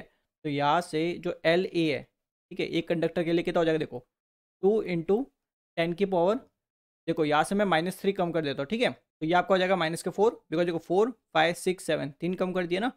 तो ये आपका हो गया देखो वन अपॉन फोर प्लस आपका log e capital D upon आपका आर ठीक है? अब ये किसमें हो गई? इसकी यूनिट क्या हो गई? मिली हेनरी पर मीटर हो गई। मेरे को चाहिए किसमें? किलोमीटर में चाहिए, ठीक है? तो मैं क्या करता हूँ, देखो, सिंपल, ऊपर भी थाउज़ेंड से मल्टीप्लाई करता हूँ और नीचे भी थाउज़ेंड से मल्टीप्लाई करता हूँ, ठीक है? तो ये आपका मीटर में था, ठीक है? तो मीटर को मैंने थाउज़ेंड से मल्टीप्लाई किया, ये क्या हो गया? किलोमीटर में बन गया, ठीक है? और ऊपर टेन की पावर माइनस फोर है और ये आपका टेन की पावर थ्री हो गया। तो क्या बचा सिंपल? एक टेन की पावर माइनस वन बच गया, ठीक है? यानी वन बाई टेन बच गया ना? और वन बाई टेन को मैं कैसे लिख सकता हूँ? इस टू से डिवाइड कर सकता हूँ ना, मैं यहाँ पे बचा है बेसिकली टू बाई टेन बचा है मैं पॉइंट टू लिख सकता हूँ, ठीक है? तो यहाँ से मेरे को जो एल ए का फॉर्मूला मिला, कितना बन गया देखो? ज़ीरो पॉइंट टू ठीक है? एम ब्रैकेट आपका, देखो वन बाय फोर प्लस आपका लॉग ई डी अपॉन आपका आर ठीक है? यूनिट इसकी क्या बन गई देखो? मिली हेनरी पर किलोमीटर, ठीक है? तो ये यूनिट मैंने इसीलिए बोला था कि बहुत ज़्यादा इंपॉर्टेंट है आपके लिए यूनिट और इसी को आप ऐसे भी लिख सकते हो, ठीक है? देखो, दो फॉर्मूले मैंने आपको लिखवाए थे। एल ए को और कैसे लिख सकते हैं? ज़ीरो पॉइंट टू ठीक है लॉग आपका ई कैपिटल डी अपॉन आपका आर डैश ठीक है, ऐसे भी लिख सकते हैं ना? और यूनिट इसकी क्या होगी? Milli henry per kilometre. Clear है? ये आपने लिखा आर डैश यानी इफ़ेक्ट इफ़ेक्टिव रेडियस की टर्म में लिखा इसने आपने। ठीक है? तो देखो, अगर मैं आपका दोनों कंडक्टर के लिए लिखता हूँ, ठीक है, जिसको हम बोलते हैं लूप इंडक्टेंस तो ये कितना आ जाएगा? सिंपल देखो टू टाइम्स हो जाएगा। तो ये पॉइंट टू का, इसको टू से मल्टीप्लाई कर दो, ये आपका आ जाएगा zero point four zero point four log e आपका कैपिटल डी अपॉन आपका आर डैश ठीक है? यूनिट आपकी हो जाएगी, देखो, मिली हेनरी पर किलोमीटर यहाँ तक, ठीक है आपका?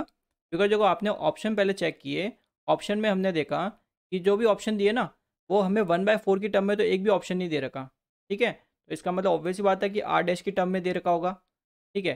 तो इसलिए हमने सिंपल आर डैश की टर्म में इसको लिख लिया, ठीक है? यहाँ से लूप इंडक्टेंस मिल गया। तो आपका आंसर क्या हो जाएगा सिंपल ए ऑप्शन आपका करेक्ट आंसर ठीक है? यहाँ पे इसने ये आर दिया है, ये प्रॉब्लम आर डैश होगा यहाँ पे, ठीक है ना? ये फॉर्मूला आपका बनेगा point one log e D upon R dash for eleven K V line the inductance per kilometre per phase will be of order of ठीक है? तो इलेवन के वी के लिए आपका इंडक्टेंस होता है वन मिली हेनरी ये theoretical question है, ये option correct answer for a single phase overhead line having solid copper conductor of diameter one centimetre तो देखो डायमीटर बोला इसने वन सेंटीमीटर ठीक है? तो रेडियस कितनी हो गई? तो मैं यहाँ पे लिख लेता हूँ, देखो रेडियस मेरी है पॉइंट फाइव सेंटीमीटर यहाँ तक ठीक है? फिर क्या बोला, देखो space sixty centimetre between the centre यानी जो डिस्टेंस है दोनों कंडक्टर के बीच में, यानी डी ये कितना दिया इसने? सिक्सटी सेंटीमीटर ठीक है? दोनों की यूनिट सेम है, कुछ चेंज करने की ज़रूरत नहीं। क्या बोला फिर? इंडक्टेंस इन मिली हेनरी पर किलोमीटर ठीक है? मिली हेनरी पर किलोमीटर बताना है। तो देखो अभी अभी हमने देखा फॉर्मूला इंडक्टेंस का, क्या होता है, देखो ज़ीरो पॉइंट टू, ठीक है bracket one by four plus आपका लॉग ई कैपिटल डी ठीक है, या फिर इसको स्मॉल डी लिखते हैं बिकॉज़ यहाँ पे स्मॉल डी है डिस्टेंस मैंने लिखी है अपॉन आपका रेडियस आर ठीक है, और यूनिट इसकी क्या बनी थी आपकी? मिली हेनरी पर किलोमीटर ठीक है लास्ट टू लास्ट क्वेश्चन में ये हमने अभी देखा है। अब ये वाला फॉर्मूला हम क्यों यूज़ कर रहे हैं? बिकॉज़ हमने ऑप्शन देखे, देखो ऑप्शन देख के एक बार आपको पता करना है कि कौन सा फॉर्मूला आपको यूज़ करना है, ठीक है, यहाँ पे आर डैश वाला फॉर्मूला यूज़ करने से कोई सेंस ही नहीं बनता क्लियर है? तो यहाँ पे देखो सिंपल क्या हो जाएगा आपका? एल इक्वल्स टू ठीक है सारी वैल्यू सिंपली पुट कर रहे देखो। ज़ीरो पॉइंट टू ब्रैकेट आपका देखो वन बाय फोर प्लस आपका लॉग ई e, देखो डिस्टेंस कितनी है? सिक्सटी सेंटीमीटर तो ये आपका सिक्सटी डिवाइडेड बाय रेडियस कितनी है? पॉइंट फाइव तो ये आपका पॉइंट फाइव क्लियर है? यूनिट कितनी है इसकी? मिली हेनरी पर किलोमीटर। क्लियर है? तो इसको देखो थोड़ा सॉल्व करते हैं। कितना आएगा देखो? Zero point two upon four zero point two divided by आपका फोर ठीक है? प्लस। यहाँ पे आ जाएगा ज़ीरो पॉइंट टू, ठीक है log e sixty upon point five, ठीक है इतना? तो यहाँ से देखो ये पॉइंट को रिमूव करते हैं, नीचे ज़ीरो आ गया तो ये आपका आ जाएगा वन बाई ट्वेंटी तो वन बाई ट्वेंटी यानी कि ये वैल्यू आपके आ गई zero point zero five, zero point zero five plus आपका ये आ गया ज़ीरो पॉइंट टू, ठीक है लॉग ई ये आपका आ गया सिक्सटी अपॉन पॉइंट फाइव, ठीक है? तो ये आपकी यूनिट इसकी लिख लेते हैं, मिली हेनरी पर किलोमीटर तो ये आपका क्या हो गया आंसर बिकॉज़ इसको फर्दर हमें सॉल्व करना है नहीं ऑप्शन में ऐसे ही दे रखा है, ठीक है? तो zero point zero five point two log sixty upon point five यानी कि आपका C option correct answer clear है? बिकॉज़ देखो ए ऑप्शन में इसने सिर्फ़ सिक्सटी दिया है, नीचे पॉइंट फाइव नहीं है, ठीक है ना? तो सी ऑप्शन आपका करेक्ट आंसर होगा। देखो, इसमें तो आपको ऐसे ही दे रखा था, ठीक है? इसलिए आपका सी ऑप्शन करेक्ट हो गया।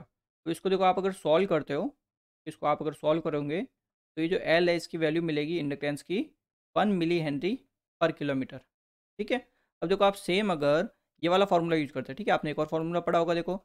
L equals to point two log e ठीक है? लॉग ई आपकी जो भी डिस्टेंस है कौन आपका आर डैश ठीक है? इस फिर इस फार्मूले में आर डैश की वैल्यू क्या होती है? Simple zero point seven seven eight eight into आपकी जो भी रेडियस है रेडियस यानी पॉइंट फाइव ठीक है? तो ये आपका आर डैश की वैल्यू मिलती। तो यहाँ से भी आपका आंसर वन मिली हेनरी पर किलोमीटर ही आता, ठीक है? दोनों से यही आंसर आता। बिकॉज़ ये दोनों जो फॉर्मूले हैं ये आपके सॉलिड कॉपर कंडक्टर के लिए होते हैं, ठीक है? अगर इसने होलो कंडक्टर बोला होता तो आपका ये पॉइंट ज़ीरो फाइव नहीं आता, ठीक है? होलो कंडक्टर के लिए आपका सिर्फ़ ये वाला आंसर होता। है point two log e sixty upon point five यानी यहाँ से ये जो डी ऑप्शन है आपका ठीक है डी ऑप्शन आपका, ये आपका होता है होलो कंडक्टर के लिए, ठीक है चीज़? तो अगला क्वेश्चन देखते हैं। A three phase transmission line has its conductor at the corner of equilateral triangle with side 3 meter. The diameter of each conductor is 1.63 centimeter. The inductance of the line per phase per kilometer is तो यानी कि हमें एक phase की निकालनी है, ठीक है ना?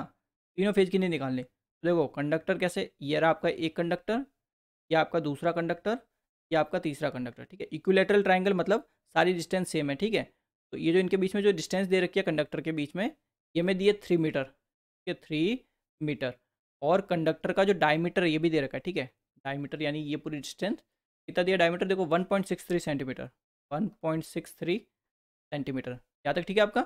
अब देखो क्वेश्चन की जो क्वेश्चन के अकॉर्डिंग देखो जो रेडियस है ठीक है? इन कंडक्टर्स की रेडियस कितनी हो जाएगी? देखो सिंपल 1.63 आपका डायमीटर है तो टू से डिवाइड कर दो, ठीक है? तो आपको रेडियस मिल जाएगी 0.815 सेंटीमीटर ठीक है? जो डिस्टेंस है, ठीक है? यानी जो डिस्टेंस हम निकालते हैं, ये कैसे निकालेंगे? देखो, इसको लिखो कैपिटल डी ठीक है? डिस्टेंस अब यहाँ पे देखो तीन कंडक्टर है। तो कैसे निकालते सिंपल इसके लिए? देखो D one D two D three ठीक है? ब्रैकेट सिंस तीन है तो यहाँ पे आ जाएगा वन बाय थ्री क्लियर है? तो यहाँ पे सिंपल अगर डिस्टेंस निकालते हो तो कितनी आएगी देखो? ये भी थ्री है, ये भी थ्री है, ठीक है? ये भी आपका थ्री है, और कितनी हो जाएगी वन बाय थ्री ठीक है? ऐसे निकालते हैं हम। तो यहाँ से हमें देखो, जो डिस्टेंस है, वो हमें मिल गई थ्री मीटर ठीक है? सेंटीमीटर में निकालनी पड़ेगी। बिकॉज़ हमारी देखो रेडियस सेंटीमीटर में, दोनों में सेम चीज़ में रखनी पड़ेगी, ठीक है? या तो दोनों को मीटर में रखो या फिर दोनों को सेंटीमीटर में रखो। अब सिंस पर फ़ेज़ पूछा है तो ये मान लो ए ये आपका बी और ये आपका C because three phase transmission line है। ठीक है तो एक फ़ेज़ का किसी का भी निकाल दो तो एल है और देखो, इसने बोला है कि पर किलोमीटर में बताना है, ठीक है? मिली हेनरी में दिया है तो मिली हेनरी पर किलोमीटर तो फॉर्मूला में आपको ऑलरेडी लिखवा चुका हूँ, देखो पॉइंट टू लॉग ई ठीक है लॉग ई आपका कैपिटल डी अपॉन आपका आर डैश ये फॉर्मूला बताएँ। और यहाँ पे आर डैश की वैल्यू पहले निकाल देते हैं। आर डैश कितना हो जाएगा? देखो simple zero point seven seven eight eight into आपकी रेडियस रेडियस कितनी दी है देखो? Zero point eight one five eight one five ठीक है? तो ये हमें मिल जाएगा यहाँ पे देखो zero point six three four seven यहाँ तक ठीक है? और हमने ऑलरेडी आपके ई e की वैल्यू ऑलरेडी निकाल दी है। ये आपकी है थ्री हंड्रेड सेंटीमीटर ठीक है? दोनों हमेशा सेम यूनिट में लेके चलो। ये भी आपकी सेंटीमीटर में आ गई है। तो अब यहाँ से सिंपल इंडक्टेंस निकाल देते हैं। ठीक है? और यहाँ पे ये यूनिट लिख लेते हैं मिली हेनरी पर किलोमीटर। ठीक है? यूनिट लिखना मत बोलना बहुत इंपॉर्टेंट है। तो यहाँ से एल ए ठीक है? पर फ़ेज़ के लिए निकाल रहे कितना आएगा? देखो पॉइंट टू ठीक है? लॉग आपका ई e, देन आपका देखो डी कितना आपका? थ्री हंड्रेड तो ये आपका आ गया three hundred divided by R dash कितना है?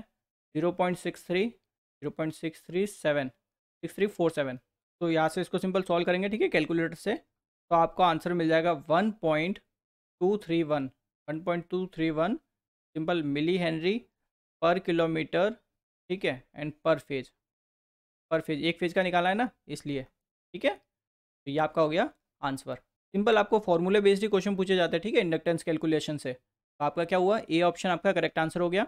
The conductor of ten kilometre long single phase two wire line are separated by distance of one point five metre ठीक है? यानी कि जो डिस्टेंस दी है दो कंडक्टर के बीच की डिस्टेंस यानी ये डी कितना दे दिया इसने? देखो वन पॉइंट फाइव मीटर, ठीक है? वन पॉइंट फाइव मीटर और बोला, देखो the diameter of each conductor is one centimetre diameter क्या है? वन सेंटीमीटर है। तो डायमीटर वन सेंटीमीटर रेडियस कितनी हो गई? ज़ीरो पॉइंट फाइव सेंटीमीटर ठीक है इतना?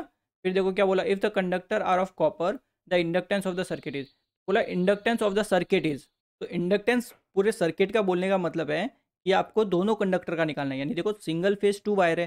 तो दो वायर है तो एक वायर के लिए हमें फॉर्मूला पता है, ठीक है? तो बट हमें चाहिए लूप इंडक्टेंस ठीक है? फॉर्मूला मैंने बता दिया आपको। सिंपल आपका लूप इंडक्टेंस क्या हो जाता है? डबल हो जाता है, ठीक है? तो सिंपल क्या हो जाएगा फॉर्मूला देखो? ज़ीरो पॉइंट फोर हो जाएगा, ठीक है? नॉर्मली एक के लिए ज़ीरो पॉइंट टू आता है यहाँ पे। तो लॉग ई e आपका टी अपॉन आपका आर डैश ठीक है? ये क्यों लिखा मैंने? बिकॉज़ मेरे को चाहिए मिली हेनरी पर किलोमीटर में, ठीक है? बिकॉज़ देखो यूनिट आपकी क्या मिली हेनरी पर किलोमीटर। क्लियर है? यूनिट इसलिए बोल रहा हूँ इंपॉर्टेंट है। तो यहाँ पे पहला सिंपल सब सेंटीमीटर में रख दो। ये आपका हो जाएगा वन फिफ्टी सेंटीमीटर। एंड यहाँ पे आर डैश निकाल देते हैं। ठीक है आर डैश आपका हो जाएगा देखो zero point seven seven eight eight into आपकी रेडियस। रेडियस कितनी ज़ीरो पॉइंट फाइव। तो ज़ीरो पॉइंट फाइव। ठीक है? तो आप मल्टीप्लाई करोगे तो ये आपको मिल जाएगा zero point three eight nine four. Clear है? अब सिंपल सारी वैल्यू पुट करो। तो आपका देखो इंडक्टेंस कितना मिल जाएगा? देखो inductance equals to zero point four. ठीक है आपका लॉग ई e, देखो डी कितना आपका? वन फिफ्टी सेंटीमीटर तो one fifty divided by simple zero point three eight nine four three eight nine four ठीक है इतना? तो सिंपली सॉल्व करेंगे। तो यहाँ से हमें जो इंडक्टेंस मिलेगा। ठीक है, ये आपका आ जाएगा देखो zero point four multiplied with five point nine five ठीक है लॉग की वैल्यू आ जाएगी। अब देखो जो कैलकुलेटर होता है कैलकुलेटर में आपको देखो, एक तो मिलेगा ऐसे लॉग लिखा हुआ, एक आपको मिलेगा एन एल एन मिलेगा। ठीक है तो एल एन का मतलब है कि उसका बेस ई e है। ठीक है, और लॉग लिखा हुआ उसका मतलब बेस टेन है। तो वहाँ पे गलती मत कर देना कि आप वैल्यू लॉग ये वाला ले रहे हो और यहाँ पे वैल्यू निकाल रहे हो, ठीक है? तो वो गलत हो जाएगा बिकॉज़ यहाँ पे बेस क्या ई e है। तो कैलकुलेटर में आपको एल एन यूज़ करना है, ठीक है चीज़? तो एल हमें यहाँ से देखो सिंपल मिल जाएगा point four into five point nine five ठीक है? तो ये आपका आ जाएगा two point three eight one five ठीक है? यूनिट इंपॉर्टेंट मिली हेनरी पर किलोमीटर अब इसने बोला है, देखो the conductor of ten kilometre ठीक है? पूरे टेन किलोमीटर के लिए बतानी है। देखो फॉर टेन किलोमीटर बिकॉज़ ये हमने एक किलोमीटर के लिए निकाली है ना? तो टेन के लिए कैसे निकालेंगे? सिंपल, इसको आप टेन से मल्टीप्लाई कर दो। तो देखो two point three eight one five ठीक है? मल्टीप्लाइड विथ टेन किलोमीटर, ठीक है? देखो, किलोमीटर ये रहा और नीचे भी किलोमीटर तो कैंसिल आउट हो जाएगा। तो यानी हमें पूरा मिल जाएगा, ठीक है? टेन किलोमीटर के लिए। ये कितना आ जाएगा? देखो twenty three point eight one five unit important है, मिली हेनरी, ठीक है? बिकॉज़ किलोमीटर तो हमने सिंपल मल्टीप्लाई कर दिया, जितने किलोमीटर के लिए निकालना था। यानी कि आपका सी ऑप्शन करेक्ट आंसर, ठीक है? आप सिंपल देखो इंडक्टेंस में सारे फार्मूला बेस्ड क्वेश्चन है। आप जितने फार्मूला आपको याद है तो आपसे क्वेश्चन हो जाएगा। फार्मूला याद नहीं है तो क्वेश्चन आपसे नहीं होने वाला। ठीक है सिंपल सी बात है। अगला क्वेश्चन देखते हैं। The inductance of power transmission line increase with अब देखो आपका जो इंडक्टेंस होता है, ठीक है? इंडक्टेंस कैसे लिखते हैं? सिंपल किसी भी एक कंडक्टर का मैं लिख लेता हूँ, ठीक है? एल ए लिख लेता हूँ जैसे। तो देखो, ये मैंने आपको बताया कितना होता है, देखो? ज़ीरो पॉइंट टू ठीक है लॉग ई आपकी जो डिस्टेंस होती है, यानी जो स्पेसिंग होती है दो कंडक्टर्स के बीच में, या फिर बोल सकते हो फ़ेज़ कंडक्टर के बीच में वाली डिस्टेंस डी ठीक है, अपन आपका आर डैश क्लियर है, ये फॉर्मूला होता है? तो यूनिट क्या है यहाँ पे? मिली हेनरी पर किलोमीटर, ठीक है एंड पर फ़ेज़ अब देखो यहाँ पे, ठीक है, ये जो स्पेसिंग है, जो डिस्टेंस है, अगर इसको आप बढ़ाते हो, ठीक है तो आपकी इंडक्टेंस भी आपका बढ़ता है। ठीक है तो सिंपल क्या बोलेंगे? Increase in spacing between the phase conductor ठीक है स्पेसिंग बढ़ा दो आपकी क्या होगी इंडक्टेंस इंक्रीज हो जाएगा। बट आप अगर रेडियस को बढ़ाते हो, यानी इस आर डैश को अगर बढ़ाते हो तो आपका इंडक्टेंस कम हो जाएगा, ठीक है? तो inductance of a transmission line is minimum when अब देखो, आप नॉर्मली देखो, जैसे दो कंडक्टर लेते हो, एक ये कंडक्टर आपका हो गया, एक ये कंडक्टर हो गया, ठीक है? दोनों की रेडियस भी सेम ये भी आर और ये भी आर ठीक है? और जो दोनों कंडक्टर के बीच में जो डिस्टेंस है, ये हमारी हो गई डी ठीक है? तो ये हमारा ए कंडक्टर ये हमारा बी कंडक्टर यानी बोल सकते हो सिंगल फ़ेज़ है ये एक तरह से, ठीक है? तो इसमें आप अगर जब इंडक्टेंस लिखते हो इंडक्टेंस यानी किसी भी एक का, ठीक है? तो ये आप लिखते हो ज़ीरो पॉइंट टू ठीक है? Log e log e then जो भी स्पेसिंग है इनके बीच में अपॉन आपका जो भी रेडियस है उसका डैश यानी इफ़ेक्टिव रेडियस ठीक है? बट यहाँ पे देखो, अगर आपका थ्री फ़ेज़ वाला सिस्टम हो जाए थ्री फ़ेज़ में देखो तीन कंडक्टर होंगे। अब मैं फ़िलहाल ऐसा अज्यूम करके चल रहा हूँ कि तीनों कंडक्टर एक तरह से इक्विलेटरल ट्राइंगल फॉर्म कर रहे हैं, ठीक है? इक्विलेटरल ट्राइंगल मतलब तीनों के बीच में जो डिस्टेंस है, वो आपकी सेम है। ठीक है तो ये भी आपकी डी है तो ये मान लेते जैसे ए फ़ेज़ ठीक है, ये आपका बी फ़ेज़ और ये आपका सी फ़ेज़ ठीक है? तो अब देखो, अगर मैं ए फ़ेज़ के लिए इंडक्टेंस लिखता हूँ इस केस में इंडक्टेंस लिखता हूँ तो ये तो सेम आता है, ठीक है? Zero point two log e ठीक है, यहाँ तक तो आपका सेम है। बट अब देखो, मैं ए कंडक्टर के लिए लिख रहा हूँ, ठीक है? तो इस बी की वजह से भी इस पर कुछ इंडक्टेंस और सी की वजह से भी कुछ इंडक्टेंस होगा, जो एक्सटर्नल इंडक्टेंस की हम बात करते हैं, ठीक है, वो वाला। तो इसमें देखो डिस्टेंस डी ये वाली भी है और ये वाली भी है। तो उस वजह से एक नॉर्मल एक टर्म बना देते हैं हम, जिसको हम बोलते हैं जी एम डी ठीक है G M D geometrical mean distance यानी इस कंडक्टर के लिए जी एम डी क्या है वो? ठीक है डिवाइडेड बाय इस कंडक्टर का सेल्फ ठीक है, यानी इसका खुद का, उसको हम लिखते हैं geometrical mean radius G M R clear है? तो ये आपका फॉर्मूला बनता है आपके थ्री फ़ेज़ सिस्टम के लिए, ठीक है? बिकॉज़ देखो सिंगल फ़ेज़ अगर सिस्टम हो तो उसमें तो आपका डिस्टेंस नॉर्मल स्पेसिंग डी लिख लेते हैं, ठीक है? बिकॉज़ उसमें आपकी डिस्टेंस सेम रहती है ना। दो ही तो कंडक्टर है तो यहाँ पे डिस्टेंस डी है। बट यहाँ पे आपके दो कंडक्टर है। बिकॉज़ बी की वजह से इंडक्टेंस और सी की वजह से इंडक्टेंस तो दोनों की डिस्टेंस आपको कंसिडर करनी पड़ेगी। तो उस हिसाब का जो जी एम डी है जी एम डी ठीक है? अब देखो, अगर तीन कंडक्टर के लिए लिखते हो तो देखो D one D two D three ठीक है? यानी ये वाली डिस्टेंस ये वाली डिस्टेंस ये वाली डिस्टेंस तो यहाँ पे तो फ़िलहाल सेम है, ठीक है? और यहाँ पे आ जाएगा वन बाय थ्री क्लियर तो ऐसे हम जी निकालते हैं। और जी इस केस में देखो सिंपल जी एम आर तो जी एम आर कितना हो जाएगा सिंपल देखो zero point seven seven eight eight ठीक है इंटू आपकी जो भी रेडियस है, ठीक है बिकॉज़ कंडक्टर के जो रेडियस है सबकी सेम है तो मैं आर लेके चल रहा हूँ, ठीक है? तो यहाँ पे देखो, इसने बोला कि एल आपका मिनिमम होना चाहिए। मिनिमम मतलब कम होना चाहिए ना? तो कम कब होगा? देखो, ये आपका कम होगा, जब आपका जी कम होगा, ठीक है, देखो जी कम होगा, तब आपका एल कम होगा, और जी आपका ज़्यादा होगा तब। तो क्या बोलेंगे simple? G M D is low and G M R is high यानी डी ऑप्शन आपका correct answer for a given conductor the value of G M R is ठीक है तो देखो जी एम आर की वैल्यू कैपेसिटेंस में आपकी ज़्यादा होती है कंपेयर टू आपके इंडक्टेंस आपके ऐसा क्यों होता है? देखो ये भी समझा देता हूँ। देखो जो जी एम आर होता है ज्योमेट्रिकल मीन रेडियस ठीक है, यानी ये एक तरह से सेल्फ की बात करता है। तो इंडक्टेंस में इसकी वैल्यू क्या लिखते हैं हम? आर डैश लिखते हैं, ठीक है? और ये होती कितनी है? Zero point seven seven eight eight into आपका रेडियस आर ठीक है? बट आप अगर कैपेसिटेंस के लिए लिखते हो जी एम आर कैपेसिटेंस के लिए जी एम आर लिखोगे कैपेसिटेंस तो ये आपका होगा सिंपल कंडक्टर की रेडियस के बराबर। और कंडक्टर की रेडियस के बराबर क्यों होता है? बिकॉज़ आपके कैपेसिटेंस में, ठीक है, या फिर बोल सकते हो, कोई भी अगर आपका कंडक्टर है, ठीक है कंडक्टर में उसके इनसाइड में इलेक्ट्रिक फ़ील्ड क्या होती है? ज़ीरो होती है। ठीक है तो इनसाइड में इलेक्ट्रिक फ़ील्ड ज़ीरो होती है तो कोई भी आपका यहाँ पे इंटरनल का केस नहीं बनता। ठीक है नो इंटरनल केस यानी देखो जब आप इंडक्टेंस की बात करते हो तो इंडक्टेंस में आप फ्लक्स लिंकेज दो निकालते हो, एक तो इंटरनल फ्लक्स लिंकेज और आपका एक्सटर्नल फ्लक्स लिंकेज बट आपके कैपेसिटेंस के टाइम आपकी जो इलेक्ट्रिक फ़ील्ड है, ठीक है तो इनसाइड कंडक्टर के इनसाइड आपकी इलेक्ट्रिक फ़ील्ड क्या होती है? ज़ीरो होती है। तो इंटरनल का कोई केस ही नहीं बनता आपके कैपेसिटेंस में।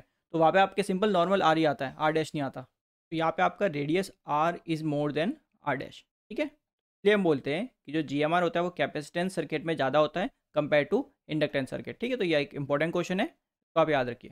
ठीक है? और ऐसा क्यों होता है? बिकॉज़ बिकॉज़ आपके जो इंटरनल में इलेक्ट्रिक फ़ील्ड होती है आपके कंडक्टर के, ठीक है, वो आपकी ज़ीरो होती है। यानी हम पढ़ते हैं ना कि कोई कंडक्टर है, उसके इनसाइड इलेक्ट्रिक फ़ील्ड हम क्या लिखते हैं? ज़ीरो लिखते हैं। ठीक है? इस वजह से। तो हम क्या बोलेंगे? Simple G M R is larger for capacitance calculation यानी ये ऑप्शन आपका correct answer the self G M D of a conductor with three strands each of radius r and touching each other is ठीक है, हमें क्या बतानी है? Self GMD GMD मतलब सेल्फ जीएमडी का मतलब होता है जीएमआर बताना है ठीक है? ज्योमेट्रिकल मीन रेडियस देखो, तीन कंडक्टर बोला ना, तीन टेन बोला, ठीक है? तो ये आपका एक हो गया, ये आपका दूसरा हो गया, ठीक है? और ये आपका ये तीसरा हो गया, ठीक है? तीनों एक दूसरे को टच कर रहे हैं तो इस टाइप में हमें दे रखा है। क्लियर है इतना? अब देखो, इनकी जो रेडियस है, ये भी हमें दे रखी है, ठीक है? ये हमारी कितनी है? आर रेडियस है। तो देखो, ये आपकी इसकी रेडियस हो गई आर ठीक है? इस वाले स्टैंड की रेडियस हो गई आर ठीक है? इस वाले स्टैंड की रेडियस हो गई आर ठीक है? ये भी आपकी डिस्टेंस आर ही होगी और ये भी आपकी आर और ये भी आपकी आर यानी टोटल टू आर हो जाएगी, ठीक है? तो यहाँ से आप एक तरह से एक चीज़ समझ रहे हो? देखो, यहाँ पे भी टू आर है, ठीक है? यहाँ पे भी टू आर है आपका और यहाँ पे भी टू आर है, ठीक है? अब देखो, ये वाला स्टैंड मान लो ए है, ये आपका बी है और ये आपका सी है, ठीक है? अब देखो, इसमें आप अगर इनके लिए सिंपल पहले आपको बता देते तो देखो, सेल्फ जीएमडी यही आपका होता है जीएमआर ठीक है? जीएमआर को ही हम बोलते हैं सेल्फ जीएमडी अब देखो, मेरे को लिखना है जीएमआर ठीक है? तो देखो, कैसे लिखोगे? ज्योमेट्रिकल मीन रेडियस ठीक है? तो पहले आपको लिखना पड़ेगा, देखो सेल्फ के लिए, ठीक है? यानी खुद के लिए। तो खुद के लिए देखो, क्या हो जाएगा simple zero point seven seven eight eight into आपका जो भी रेडियस है, ठीक है इतना? अब देखो मल्टीप्लाइड विथ अब देखो, मैं मान रहा हूँ कि ए के लिए लिख रहा हूँ, ठीक है? तो यानी इस पॉइंट के लिए मैं लिख रहा हूँ। तो देखो, इस पॉइंट पे और बी पॉइंट पे ठीक है? बी और सी दोनों देखने पड़ेंगे ना, दोनों कंडक्टर पहले बी तक देखा मैंने, ये कितनी डिस्टेंस है टोटल टू आर है। तो इसको हम टू आर से मल्टीप्लाई कर देंगे। ठीक है मल्टीप्लाई सी के लिए लिखूँगा सी के बीच में देखो कितनी डिस्टेंस है? टू आर इसको अगेन टू आर से मल्टीप्लाई कर दूँगा। टोटल स्टैंड कितने? एक, दो, तीन. ठीक है तो कितना हो जाएगा? सिंपल वन बाय थ्री ठीक है? तो यहाँ से देखो सिंपल जी एम आर कितना आ गया देखो। सब में आपका आर है तो आर को सिंपल आप कॉमन ले लो। देखो आर को कॉमन ले लिया हमने। क्या बचेगा? Zero point seven seven eight eight ठीक है मल्टीप्लाइड विथ आपका देखो यहाँ पे आ जाएगा two multiplied with two multiply तो यहाँ पे आ गया वन बाय थ्री ठीक है? तो ये आपका हो गया आंसर यानी कि आपका कौन सा ऑप्शन करेक्ट आंसर हो गया देखो? ए ऑप्शन आपका करेक्ट आंसर अब यहाँ पे देखो, ठीक है, यही पे एक और चीज़ अगर मैं आपको बताऊँ, देखो जी एम आर ठीक है जी एम आर कोई भी स्टैंडर्ड कंडक्टर हो, ठीक है? यानी जैसे इसमें स्टैंड हो जी एम आर अपॉन आपका जो एक्चुअल रेडियस है, ये वैल्यू आपकी हमेशा कम मिलेगी आपको zero point seven seven eight eight से। क्यों देख सकते हो देखो? यहाँ पे देखो, इससे रेशियो निकालोगे तो ये आपका कैंसिल आउट हो जाएगा। ठीक है, आर से आर कैंसिल आउट हो जाएगा। अब देखो यहाँ पे, ये जो वैल्यू है, ये पूरी क्यूब रूट में तो ऑब्वियस ही बात है, ये पूरी वैल्यू आपकी इससे कम ही आपको मिलेगी। ठीक है चीज़ ये? Hollow conductor are use in transmission line to ठीक है तो होलो कंडक्टर किस लिए यूज़ करते हैं? कोरोना लॉस को रिड्यूस करने के लिए। ठीक है तो ये मैं ऑलरेडी आपको लास्ट लेक्चर में ये सारी चीज़ें मैं आपको बता चुका ठीक है कोरोना से related in H V transmission the spacing between sub conductor of a bundle is approximately, ठीक है? तो ये आपका कितना रहता है? फोर्टी सेंटीमीटर, ठीक है? तो B option correct answer. For a standard conductor the ratio of G M R to actual radius is ठीक है? तो ये आपका हमेशा क्या होगा? Less than point seven seven eight eight ठीक है? कैसे होगा? ये आप देखो simple question number one thirty five देख लो। उसमें मैंने आपको सिंपल तीन स्टैंड लिए और तीन स्टैंड के लिए मैंने जी एम आर निकाला है, ठीक है? और जो जी एम आर आया ना, उसको आप अगर एक्चुअल रेडियस से डिवाइड करोगे तो वो ऑब्वियसली बात है वैल्यू आपको less than point seven seven eight eighty मिलेगी। ठीक है? बिकॉज़ उसमें आपका क्यूब रूट उसमें और आ जाता है। क्लियर चीज़ ये? तो अगला क्वेश्चन देखते हैं। Bundle conductor in extra high voltage transmission system provide यानी कि देखो बंडल कंडक्टर आप यूज़ करते हो extra high voltage transmission system के लिए तो इससे क्या फ़र्क पड़ता है? क्या होता है? इससे ये पूछा है। ठीक है? देखो, आपका कोई तीन फ़ेज़ का सिस्टम मानता है। ठीक है? ए फ़ेज़ बी फ़ेज़ और सी फ़ेज़ ठीक है? अब देखो ए फ़ेज़ में मान लेते कोई एक कंडक्टर है। ठीक है? अब इसी फ़ेज़ में मैं एक और कंडक्टर रख देता हूँ। ठीक है? तो अब क्या हो गया सिंपल, एक ही फ़ेज़ में मेरे दो कंडक्टर हो गए, ठीक है? यानी अब जो करंट है ना, वो इन दोनों कंडक्टर के बीच में बराबर बढ़ जाएगा, ठीक है? ऐसे बी फ़ेज़ में भी पहले एक कंडक्टर था, अब मैंने एक और कंडक्टर ला रख दिया, ठीक है? अब ऐसे मैं क्या करता हूँ सी फ़ेज़ में पहले एक कंडक्टर था, एक और मैंने ला रख दिया।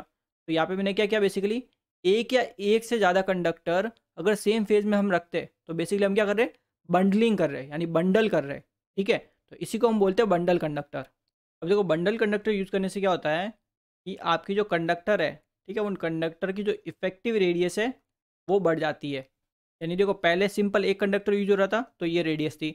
अब दूसरा एक और सेम फ़ेज़ में कंडक्टर यूज़ किया तो ओवरऑल जो इफ़ेक्टिव रेडियस है, वो आपकी इंक्रीज हो जाती है, ठीक है? तो इफ़ेक्टिव रेडियस के बढ़ने की वजह से देखो, आपका जो इंडक्टेंस है इंडक्टेंस आप क्या लिखते हो सिंपल ज़ीरो पॉइंट टू ठीक है लॉग ई आपकी जो स्पेसिंग है दो कंडक्टर के बीच में, ठीक है डिवाइडेड बाय आपका आर डैश यूनिट इंपॉर्टेंट है, मिली हेनरी पर किलोमीटर। ठीक है? तो यहाँ पे देखो, आप क्या कर रहे हो? इफ़ेक्टिव रेडियस को बढ़ा रहे हो बंडल कंडक्टर यूज़ करके। तो इफ़ेक्टिव रेडियस आपकी बढ़ रही है, यानी आर डैश बढ़ रहा है। ठीक है? आर डैश अगर बढ़ेगा तो इंडक्टेंस क्या हो जाएगा? कम हो जाएगा। क्लियर है चीज़िए और इंडक्टेंस अगर बढ़ेगा, ठीक है, सॉरी, कम होगा तो एक्सेल क्या होगा देखो? एक्सेल इक्वल्स टू ये आपका ओमेगा एल। तो एल यहाँ पे कम हो रहा है तो एक्सेल आपका कम हो जाएगा, यानी इंडक्टिव रिएक्टेंस आपका कम हो जाएगा। तो इंडक्टिव रिएक्टेंस अगर कम होगा तो लाइन में आपका ड्रॉप कम हो जाएगा, ठीक है? अब दूसरा देखते हैं कैपेसिटेंस के लिए। देखो कैपेसिटेंस क्या होता है? Pi epsilon not divided by आपका हो जाएगा लॉग ई टी अपॉन आपकी रेडियस आर ठीक है? और यूनिट यहाँ पे है ये फेरड पर मीटर ठीक है? और ये कैपेसिटेंस आपके दो फ़ेज़ के कंडक्टर के बीच में, ठीक है? किसी भी दो फ़ेज़ कंडक्टर के बीच में, ये ग्राउंड के रेस्पेक्ट में नहीं है क्लियर है? ग्राउंड के रेस्पेक्ट में यहाँ पे टू पाई आ जाता है। अब देखो, यहाँ पे आप अगर इस आर को बढ़ा रहे हो ठीक है बंडल कंडक्टर यूज़ करके तो आर बढ़ेगा तो लॉग ई की ये वाली वैल्यू कम होगी। लॉग वाली वैल्यू कम होगी तो कैपेसिटेंस आपका बढ़ेगा। ठीक है चीज़? कैपेसिटेंस अगर बढ़ता है तो एक्सी क्या होगा? एक्सी आपका होता है, देखो one upon J omega C J omega C T यहाँ पे बढ़ेगा तो एक्सी यहाँ पे कम होगा। तो यहाँ पे आपको देखो बंडलिंग करने से इंडक्टेंस कम होता है कैपेसिटेंस बढ़ता है, ठीक है इंडक्टिव रिएक्टेंस कम होता है एंड आपका कैपेसिटिव रिएक्टेंस कम होता है। ठीक है तो ये सारी चीज़ें आपको पता होनी चाहिए कि बंडल कंडक्टर से ये सब चीज़ें होती है। ठीक है तो आपका आंसर क्या हो जाएगा कि बंडल कंडक्टर से क्या हो जाता है आपका? कैपेसिटेंस इंक्रीज हो जाता है, यानी बी ऑप्शन आपका correct answer which one of the following statement is not correct for the use of bundle conductor in transmission line ठीक है तो इसमें बोला है नॉट करेक्ट क्लियर चीज़? नॉट करेक्ट कौन सा हो जाएगा simple increase in interference with communication line तो डी ऑप्शन आपका करेक्ट आंसर ठीक है बिकॉज़ इंटरफेरेंस ये नहीं करता आपका। Bundle conductor are mainly use in high voltage over transmission line due to अब क्यों यूज़ करते हैं हाई वोल्टेज ट्रांसमिशन लाइन में बंडल कंडक्टर बिकॉज़ हमें क्या करना होता है? कोरोना को कम करना होता है। ठीक है? लास्ट लेक्चर में कोरोना पूरा समझा चुका हूँ डिटेल में। तो सी ऑप्शन आपका correct answer D S is the G M R of is sub conductor of a four sub conductor bundle conductor and D is the bundle spacing what is the G M R of equivalent single conductor यानी कि देखो आपके पास चार conductor हैं, ठीक है? चार सब कंडक्टर एक, दो, ठीक है? ये आपका तीन एंड ये आपका चार, ठीक है? ये आपके कुछ कंडक्टर ऐसे। अब इसने बोला कि इस कंडक्टर ठीक है? कोई भी एक पर्टिकुलर कंडक्टर ले लो, इन एक कंडक्टर की जो आपकी सेल्फ जी एम आर कितनी है? डी एस है, ठीक है? और इसने बोला है कि हर कंडक्टर के बीच में जो डिस्टेंस है, ठीक है? जो डिस्टेंस है, ये आपकी कितनी है? डी ठीक है? इसके बीच में डी इसके बीच में भी आपकी डी एंड इसके बीच में भी आपकी डिस्टेंस क्या है? डी है ठीक है? सबके बीच में डी है तो अब देखो, अगर मैं इनके बीच में निकालता हूँ, ठीक है? ये वाली डिस्टेंस अगर निकालता हूँ, दो कंडक्टर के बीच की तो कितनी हो जाएगी? सिंपल देखो पाइथागोरस थ्योरम डी और डी ये आपका हो जाएगा रूट टू डी क्लियर है डिस्टेंस सिंपल पाइथागोरस से निकाल सकते हो, ठीक है ना? तो अब देखो, मेरे को निकालना जी ठीक है? तो मैं किसी भी एक कंडक्टर इस कंडक्टर को उठा देता हूँ, ठीक है? ये कंडक्टर अब इस कंडक्टर के लिए मैं लिख रहा हूँ जी देखो। तो पहले मेरे को सेल्फ लिखना पड़ेगा। सेल्फ इसने बोला है डी है, ठीक है? तो सेल्फ के, ये आपका हो गया डी ठीक है? मल्टीप्लाई अब सिंपल मेरे को डिस्टेंस देखनी है देखो। अब मेरे को पहले इस कंडक्टर के लिए देखेंगे, ठीक है? तो कितने डी डिस्टेंस है? तो ये आपका डी मल्टीप्लाई अब यहाँ से इस कंडक्टर के लिए देखो कितनी है? डी डिस्टेंस है तो डी ठीक है? मल्टीप्लाई थर्ड कंडक्टर के लिए यहाँ से ये देखो, ये वाली डिस्टेंस देखो कितनी है? रूट टू डी ये आपको आ गया रूट टू डी ठीक है? टोटल कितने कंडक्टर थे? एक, दो, तीन, चार। यहाँ पे आ जाएगा वन बाय फोर क्लियर है चीज़ ये? अब इसको सिंपली थोड़ा सिंप्लीफाई कर दो। तो यहाँ पे देखो ये कितना हो जाएगा? डी एस तो ऐसे ही रखते हैं डी एस ठीक है मल्टीप्लाई ये देखो डी डी डी तो यहाँ पे डी क्यूब हो गया। ठीक है डी क्यूब मल्टीप्लाई यहाँ पे क्या रूट टू तो इसको मैं लिख सकता हूँ टू की पावर वन बाई टू ठीक है टू की पावर वन बाई टू और इस पूरे की पावर आपकी है कितनी? वन बाय फोर ठीक है इतना? तो इसको थोड़ा और सिंप्लीफाई करते हैं। देखो सिंपल डी एस को ऐसे रखते हैं। डी एस ठीक है मल्टीप्लाई आपका डी क्यूब क्लियर है? की पावर कितनी है? वन बाय फोर और यहाँ पे देखो, ये आपका है टू की पावर वन बाय टू ठीक है वन बाय टू मल्टीप्लाई आपका वन बाय फोर ठीक है? बिकॉज़ यहाँ पे देखो ये पावर इसके ऊपर आएगी ना तो ये हो जाएगा एट हो जाएगा, ठीक है? इसको मैं ओवरऑल लिख लेता हूँ one by eight one by eight ठीक है चीज़ ये? अब टू की पावर वन बाई एट इसको सिंपल आप कैलकुलेटर से सॉल्व कर दो, ये आपको मिल जाएगा, देखो टू की पावर वन बाई एट आपका होता है one point zero nine one point zero nine ठीक है? ब्रैकेट आपका डी एस मल्टीप्लाई डी की पावर थ्री ठीक है? ब्रैकेट इसका पावर आ जाएगा वन बाय फोर ये आपका हो गया जी एम आर क्लियर चीज़? यानी चार सब कंडक्टर के लिए, ठीक है, ये आपका हो जाएगा जी एम आर क्लियर ऐसा क्वेश्चन मैंने आपको वन थर्टी फाइव बताया था, ठीक है? वन थर्टी फाइव में डी एस नहीं लिया था। डी एस की जगह बस हमने क्या लिया था? Point seven seven eight eight R ठीक है, वो आपका सेल्फ ही होता है। क्लियर है चीज़ ये? बट इसने बोला था डी एस लेना इसलिए हम डी एस लेके चल रहे हैं। तो आपका आंसर कौन सा करेक्ट हो गया? तो देखो आपका डी ऑप्शन करेक्ट आंसर ठीक है? बिकॉज़ ये वन बाय फोर है ना, इस वन बाय फोर का मतलब यही है कि रूट ठीक है देन यहाँ पे ये फोर लिख लिया तो ये वन बाय फोर ही होता है। ठीक है तो डी ऑप्शन आपका correct answer consider a bundle conductor of an overhead line consisting of three identical subconductor placed at a corner of an equilateral triangle as shown in the figure. If we neglect the charge on the other phase conductor and ground, assume that the spacing between the subconductor is much larger than their radius, the maximum electric field intensity is experienced at. देखो मैंने आपको बताया था देखो bundle conductor का मतलब क्या होता है कि आपने क्या किया है एक या एक से ज़्यादा कंडक्टर रखे ठीक है किसमें एक ही सेम फ़ेज़ में ठीक है तो ये जो तीन कंडक्टर है, ये एक तरह से एक बंडल है, ठीक है बंडल कंडक्टर है तो ये तीनों कंडक्टर आपके सेम फ़ेज़ में, ठीक है, यानी ये तीनों कंडक्टर मान लेते हमारे ए फ़ेज़ में, ये चीज़ आपकी क्लियर है? तो सेम फ़ेज़ में है तो करंट आपका इन सब में बराबर डिवाइड होता है, ठीक है तो ऐसा बोल सकते हैं कि करंट सेम करंट फ्लो होगा तीनों में, ठीक है तो सेम करंट फ्लो होने का मतलब देख लो, मान लो जब आपका पॉजिटिव था, ठीक है बिकॉज़ अल्टरनेटिंग करंट में कंटिन्यूसली अल्टरनेट होता रहता है पॉजिटिव नेगेटिव पॉजिटिव नेगेटिव ठीक है तो एक टाइम में मान लेते पॉजिटिव है तो सारे पॉजिटिव होंगे उस टाइम ठीक है, सारे आपके पॉजिटिव होंगे। और जब नेगेटिव होगा आपका अल्टरनेटिंग का पार्ट जब नेगेटिव आएगा तब आपके सारे नेगेटिव होंगे। ठीक है?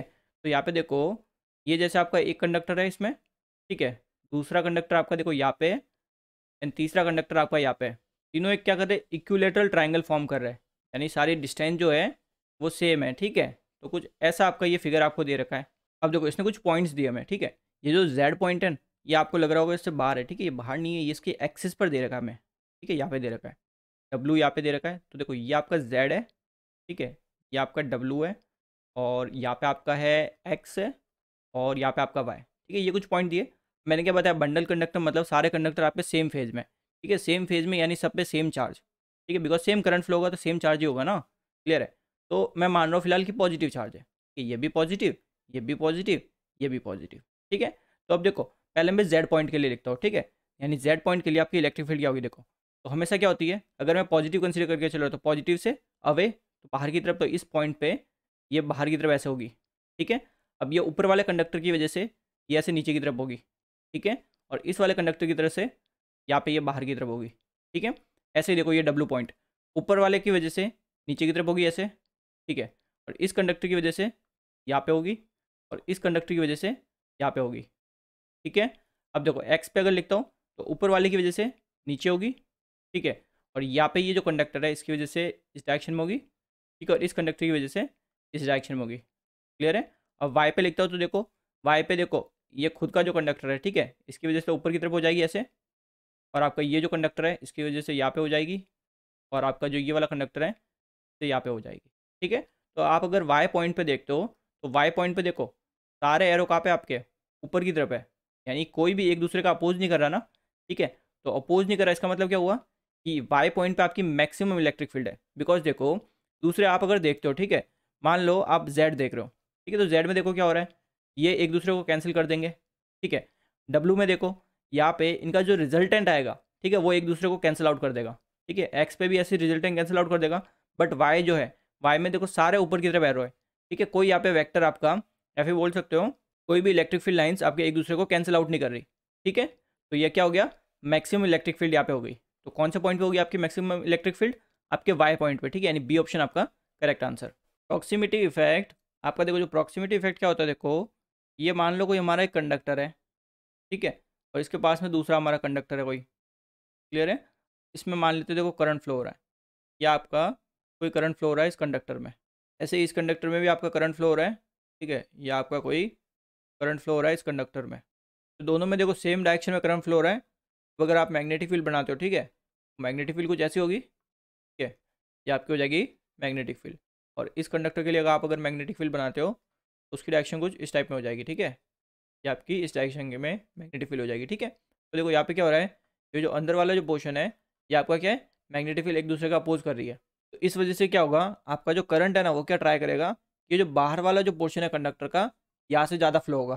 सेम इस कंडक्टर में भी जो बाहर वाला एरिया है, यहाँ से ज़्यादा करंट फ्लो होगा कंपेयर टू इनसाइड ठीक है? तो इसी को बोलते हैं प्रॉक्सिमिटी इफ़ेक्ट यानी बेसिकली क्या बोल सकते हो कि इफ़ेक्टिव एरिया अब कम हो गया। जैसे स्किन इफ़ेक्ट में भी ऐसा ही कुछ हो रहा था, ठीक है? और अगर ये अपोजिट डायरेक्शन में होते तो इनसाइड वाले पोर्शन में ज़्यादा करंट फ्लो होता है, ठीक है? ये चीज़ आपको याद रखनी है। अब देखो, ये आपका लार्ज कंडक्टर में ज़्यादा होता है फ्रीक्वेंसी ज़्यादा होती है, तब भी ज़्यादा होता है, और अगर पास पास रखते हो, तब भी ज़्यादा होता है। इनसे इफ़ेक्टिव एरिया कम कर देता है तो रेजिस्टेंस उससे बढ़ जाता है ठीक है, और आपका सेल्फ रिएक्टेंस आपका कम हो जाता है, ठीक है? ये ऑलरेडी मैं आपको स्किन इफ़ेक्ट में समझा चुका हूँ, ठीक है? तो बी भी करेक्ट है ए भी करेक्ट है। Is substantially eliminated with standard conductor आप अगर स्टैंडर्ड कंडक्टर यूज़ करते हो तो आपका ये एलिमिनेट हो जाता है प्रॉक्सिमिटी इफ़ेक्ट ठीक है? तो ये भी आपका करेक्ट है। तो सिंपल क्या बोलेंगे? ऑल ऑफ़ द अब यानी डी ऑप्शन आपका correct answer following effect are associated with transmission line यानी देखो आपकी ट्रांसमिशन लाइन में ये इफ़ेक्ट होते हैं स्किन इफ़ेक्ट कोरोना इफ़ेक्ट और प्रॉक्सिमिटी इफ़ेक्ट फिर बोला the effective resistance of a conductor is increase by यानी किस इफ़ेक्ट की वजह से इफ़ेक्टिव रेजिस्टेंस आपका इंक्रीज होता है। तो देखो, हमें पता है कि स्किन इफ़ेक्ट में जो आपका इफ़ेक्टिव एरिया होता है वो कम हो जाता है और प्रॉक्सिमिटी इफ़ेक्ट में भी हमारा इफ़ेक्टिव एरिया कम हो जाता है। ठीक है? तो दोनों में अगर एरिया कम हो गया तो रेजिस्टेंस आपका बढ़ जाएगा। तो आपका सिंपल क्या बोलेंगे? वन एंड थर्ड यानी सी ऑप्शन आपका correct answer because corona effect में आपका रेजिस्टेंस इंक्रीज नहीं होता, ठीक है ना? Capacitance in equivalent circuit of a transmission line is due to ठीक है? तो ये आपको होता है पोटेंशियल डिफरेंस की वजह से। यानी डी ऑप्शन करेक्ट आंसर यानी किसी भी दो पॉइंट पर अगर पोटेंशियल डिफरेंस आपका अगर क्रिएट हो गया और बीच में कोई इंसुलेटर है तो वहाँ पे आपका एक कैपेसिटेंस फॉर्म हो जाता है, ठीक है? If separation between three phase transmission line is increase then तो देखो सिंपल ये तो ऑलरेडी मैं क्वेश्चन आपको करवा चुका हूँ, देखो। सेपरेशन बोलने का मतलब क्या होता है कि आप जीएमडी को बढ़ा रहे हो। जीएमडी ठीक है? ज्योमेट्रिकल मीन डिस्टेंस ठीक है? फॉर्मूले में आपको ऑलरेडी लिखवा चुका देखो। जीएमडी को आप बढ़ाते हो तो हमने क्या देखा था कि इंडक्टेंस तो हमारा बढ़ रहा था, ठीक है? इंडक्टेंस बढ़ रहा था बट जो कैपेसिटेंस है, ये क्या हो रहा था आपका? कम हो रहा था। ठीक है चीजिए तो सिंपल क्या बोलेंगे? Inductance will increase and capacitance will decrease यानी सी ऑप्शन करेक्ट आंसर फॉर्मूले में आपको ऑलरेडी लिखवा चुका हूँ, ठीक है? इसलिए बार बार नहीं लिखवा रहा। The capacitance of an over transmission line increases with यानी देखो कैपेसिटेंस की बात की है, बोला है ये ट्रांसमिशन लाइन का इंक्रीज होता है किसके साथ? तो देखो अभी हमने देखा जो कैपेसिटेंस होता है, ठीक है? अगर मैं सिंपल न्यूट्रल के रेस्पेक्ट में लिखता हूँ या फिर बोल सकता हूँ ग्राउंड के रेस्पेक्ट में, ठीक है? तो फॉर्मूला क्या बनता है? Two pi epsilon not divided by log e G M D upon G M R ठीक है? G M D upon G M R तो इसमें देखो इंटरनल का केस बनता नहीं तो जी एम आर लिखने की ज़रूरत नहीं है नॉर्मल रेडियस आती है, ठीक है? अब देखो यूनिट इसकी होती है फेरड पर मीटर अब देखो जी एम डी आप अगर इंक्रीज करते हो तो ये लॉग की वैल्यू बढ़ेगी, ये वैल्यू बढ़ेगी तो कैपेसिटेंस आपका कम होगा। बट इसने बोला कि कैपेसिटेंस हमारा इंक्रीज होना चाहिए। तो GMD को बढ़ा के तो हम कैपेसिटेंस इंक्रीज नहीं कर सकते तो ये तो गलत हो गया। Increase in height of conductor above the ground यानी कि क्या बोल रहा है ये?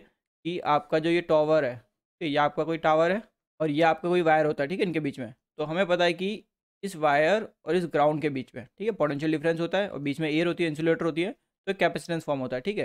तो ये क्या बोल रहा है कि इस कैपेसिटेंस की वैल्यू को हम इंक्रीज़ कर सकते हैं अगर ये वाली डिस्टेंस जो है, ठीक है ग्राउंड और कंडक्टर के बीच में जो डिस्टेंस है डी इसको अगर हम बढ़ा दें तो आपका सिंपल ये इंक्रीज हो जाएगी, ठीक है। तो बट कैसे होगा, देखो, इसको समझो। कैपेसिटेंस क्या होता है? ये एक तरह से पैरेलल प्लेट कैपेसिटर फॉर्म होता है यहाँ पे, ठीक है? तो e not A upon D parallel capacitance के लिए यही तो होता है फॉर्मूला तो यहाँ से आप क्या समझते हो? कि capacitance is inversely proportional to distance ठीक है? तो डिस्टेंस को आप अगर बढ़ाओगे तो कैपेसिटेंस तो उल्टा कम होगा बट इसने बोला इंक्रीज होना चाहिए। तो हाइट इंक्रीज करके आप कैपेसिटेंस को इंक्रीज नहीं कर सकते, ठीक है? तो क्या बोलेंगे? Both first and second are false the horizontally place conductor of a single phase line operating at 50 hertz are having outside diameter of 1.6 centimetre and the spacing between centre of the conductor is 6 metre the permittivity of free space is 8.854 into 10 to power minus 12 farad per meter. The capacitance to ground per kilometer of each line is तो देखो, यहाँ पे देखो जो D है, ठीक है, जो स्पेसिंग है दो कंडक्टर के बीच में, ये हमें कितनी दी है? देखो सिक्स मीटर ठीक है? तो सिंपल सेंटीमीटर में लिख लो सिक्स हंड्रेड सेंटीमीटर हो जाएगी ये, और जो इसने डायमीटर दिया, ठीक है डायमीटर वन पॉइंट सिक्स दिया तो रेडियस कितनी हो जाएगी? सिंपल इसका आधा, यानी कि ज़ीरो पॉइंट एट सेंटीमीटर। तो स्पेसिंग मिल गई और हमें रेडियस भी मिल गई, ठीक है? और इसने परमिटिविटी की वैल्यू दी है, एप्सलन नॉट, ठीक है? कितना दिया देखो? Eight point eight five four multiply ten की power minus twelve farad per metre. तो देखो हमारा जो कैपेसिटेंस टू ग्राउंड होता है, ठीक है? कैपेसिटेंस टू ग्राउंड, यानी लिख लेते हैं, ए फ़ेज़ ले लेता हूँ और ये एन, यानी ग्राउंड के रेस्पेक्ट में। तो फॉर्मूला आपका क्या बनता है देखो? Two pi epsilon not divided by आपका, ये हो जाएगा लॉग ई जो भी स्पेसिंग है अपॉन आपका रेडियस ठीक है? और इसकी यूनिट होती है farad per metre but since इसने पूछी है किलोमीटर में, ठीक है, यानी फेरड पर किलोमीटर पूछा है ना तो इसको सिंपल क्या करते हैं? ऊपर भी थाउज़ेंड से मल्टीप्लाई कर दो और नीचे भी थाउज़ेंड से मल्टीप्लाई कर दो तो ये किलोमीटर में बन जाएगा। तो यहाँ पे क्या आ जाएगा देखो उस टाइम जब थाउज़ेंड से मल्टीप्लाई करोगे तो two pi epsilon not into ठीक है, ऊपर भी मैंने थाउज़ेंड से मल्टीप्लाई किया, यानी टेन की पावर थ्री डिवाइडेड बाय ठीक है? नीचे आपका ये हो जाएगा सिंपल लॉग ई ठीक है, जो भी स्पेसिंग है अपन आपकी रेडियस इसकी यूनिट क्या बन चुकी है? पैरड पर किलोमीटर हुआ। ठीक है बिकॉज़ आपने थाउज़ेंड से मल्टीप्लाई किया तो अब क्या करो सिंपली सारी वैल्यू पुट कर दो, ठीक है? कैपेसिटेंस निकाल लो, देखो। टू पाई इंटू आपका देखो eight point eight five four multiplied with ten की power minus twelve multiplied with ten की पावर थ्री यहाँ पे आ जाएगा, देखो लॉग ई स्पेसिंग आपकी है six hundred centimetre divided by radius आपकी है पॉइंट एट सेंटीमीटर तो इसको आप सिंपली कैलकुलेटर से सॉल्व कर सकते हो, ठीक है? ये आपको मिल जाएगा, देखो eight three nine nine point two six, ठीक है मल्टीप्लाइड विथ टेन की पावर माइनस ट्वेल्व तो इसको फर्दर देखो कैसे लिख सकते हो?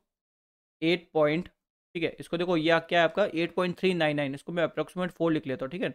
Eight point four multiplied with ten की पावर माइनस नाइन ठीक है? यूनिट आपकी क्या हो जाएगी? फेरड पर किलोमीटर क्लियर है? तो ये आपको क्या हो जाएगा?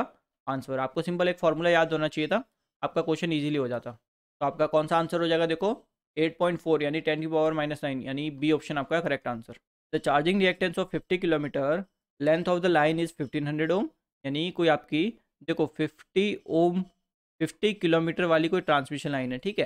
का जो चार्जिंग रिएक्टेंस है चार्जिंग रिएक्टेंस बोलने का मतलब होता है कैपेसिटेंस की बात कर रहा है, ठीक है? एक्सी की बात कर रहा है। तो एक्सी आपका है फिफ्टीन हंड्रेड ओम अब इससे बोला कि यही अगर आपका हंड्रेड किलोमीटर के लिए आपको पता करना है तो कितना होगा? हंड्रेड किलोमीटर के लिए आपका जो एक्सी है इसको डैश लिख लेते हो। एक्सी डैश हमारा कितने ओम होगा, ये पूछा है। ठीक है? तो देखो सिंपल आपका जो रिएक्टेंस होता है कैपेसिटिव रिएक्टेंस तो आप क्या लिखते हो? वन अपॉन ओमेगा सी ठीक है? एंड आपका देखो, जो कैपेसिटेंस है कैपेसिटेंस आपका डायरेक्टली पोर्शन होता है लेंथ के। यानी जितनी बड़ी ट्रांसमिशन लाइन होगी, उतना ज़्यादा आपका कैपेसिटेंस होगा। ठीक है? ये बोलने का मतलब ये है। तो यहाँ से क्या समझते हो? कि एक्सी जो आपका होता है एक्सी वो इन्वर्सिव पोर्शन होता है आपके लेंथ के। ठीक है? तो यहाँ से अगर आप सिंपल निकालते हो, देखो, दोनों के निकाल दो तो एक्सी डैश अपॉन आपका एक्सी ठीक है? तो सिंपल क्या हो जाएगा यहाँ पे? लेंथ आपकी देखो, कौन सी फ़र्स्ट केस की? Divided by length of second case clear है? तो यहाँ से मेरे को तो निकालना है एक्सी डैश तो एक्सी डैश कितना हो जाएगा देखो? एक्स ठीक है multiply L one upon L two clear है? तो एक्स मेरा यहाँ पे कितना है देखो?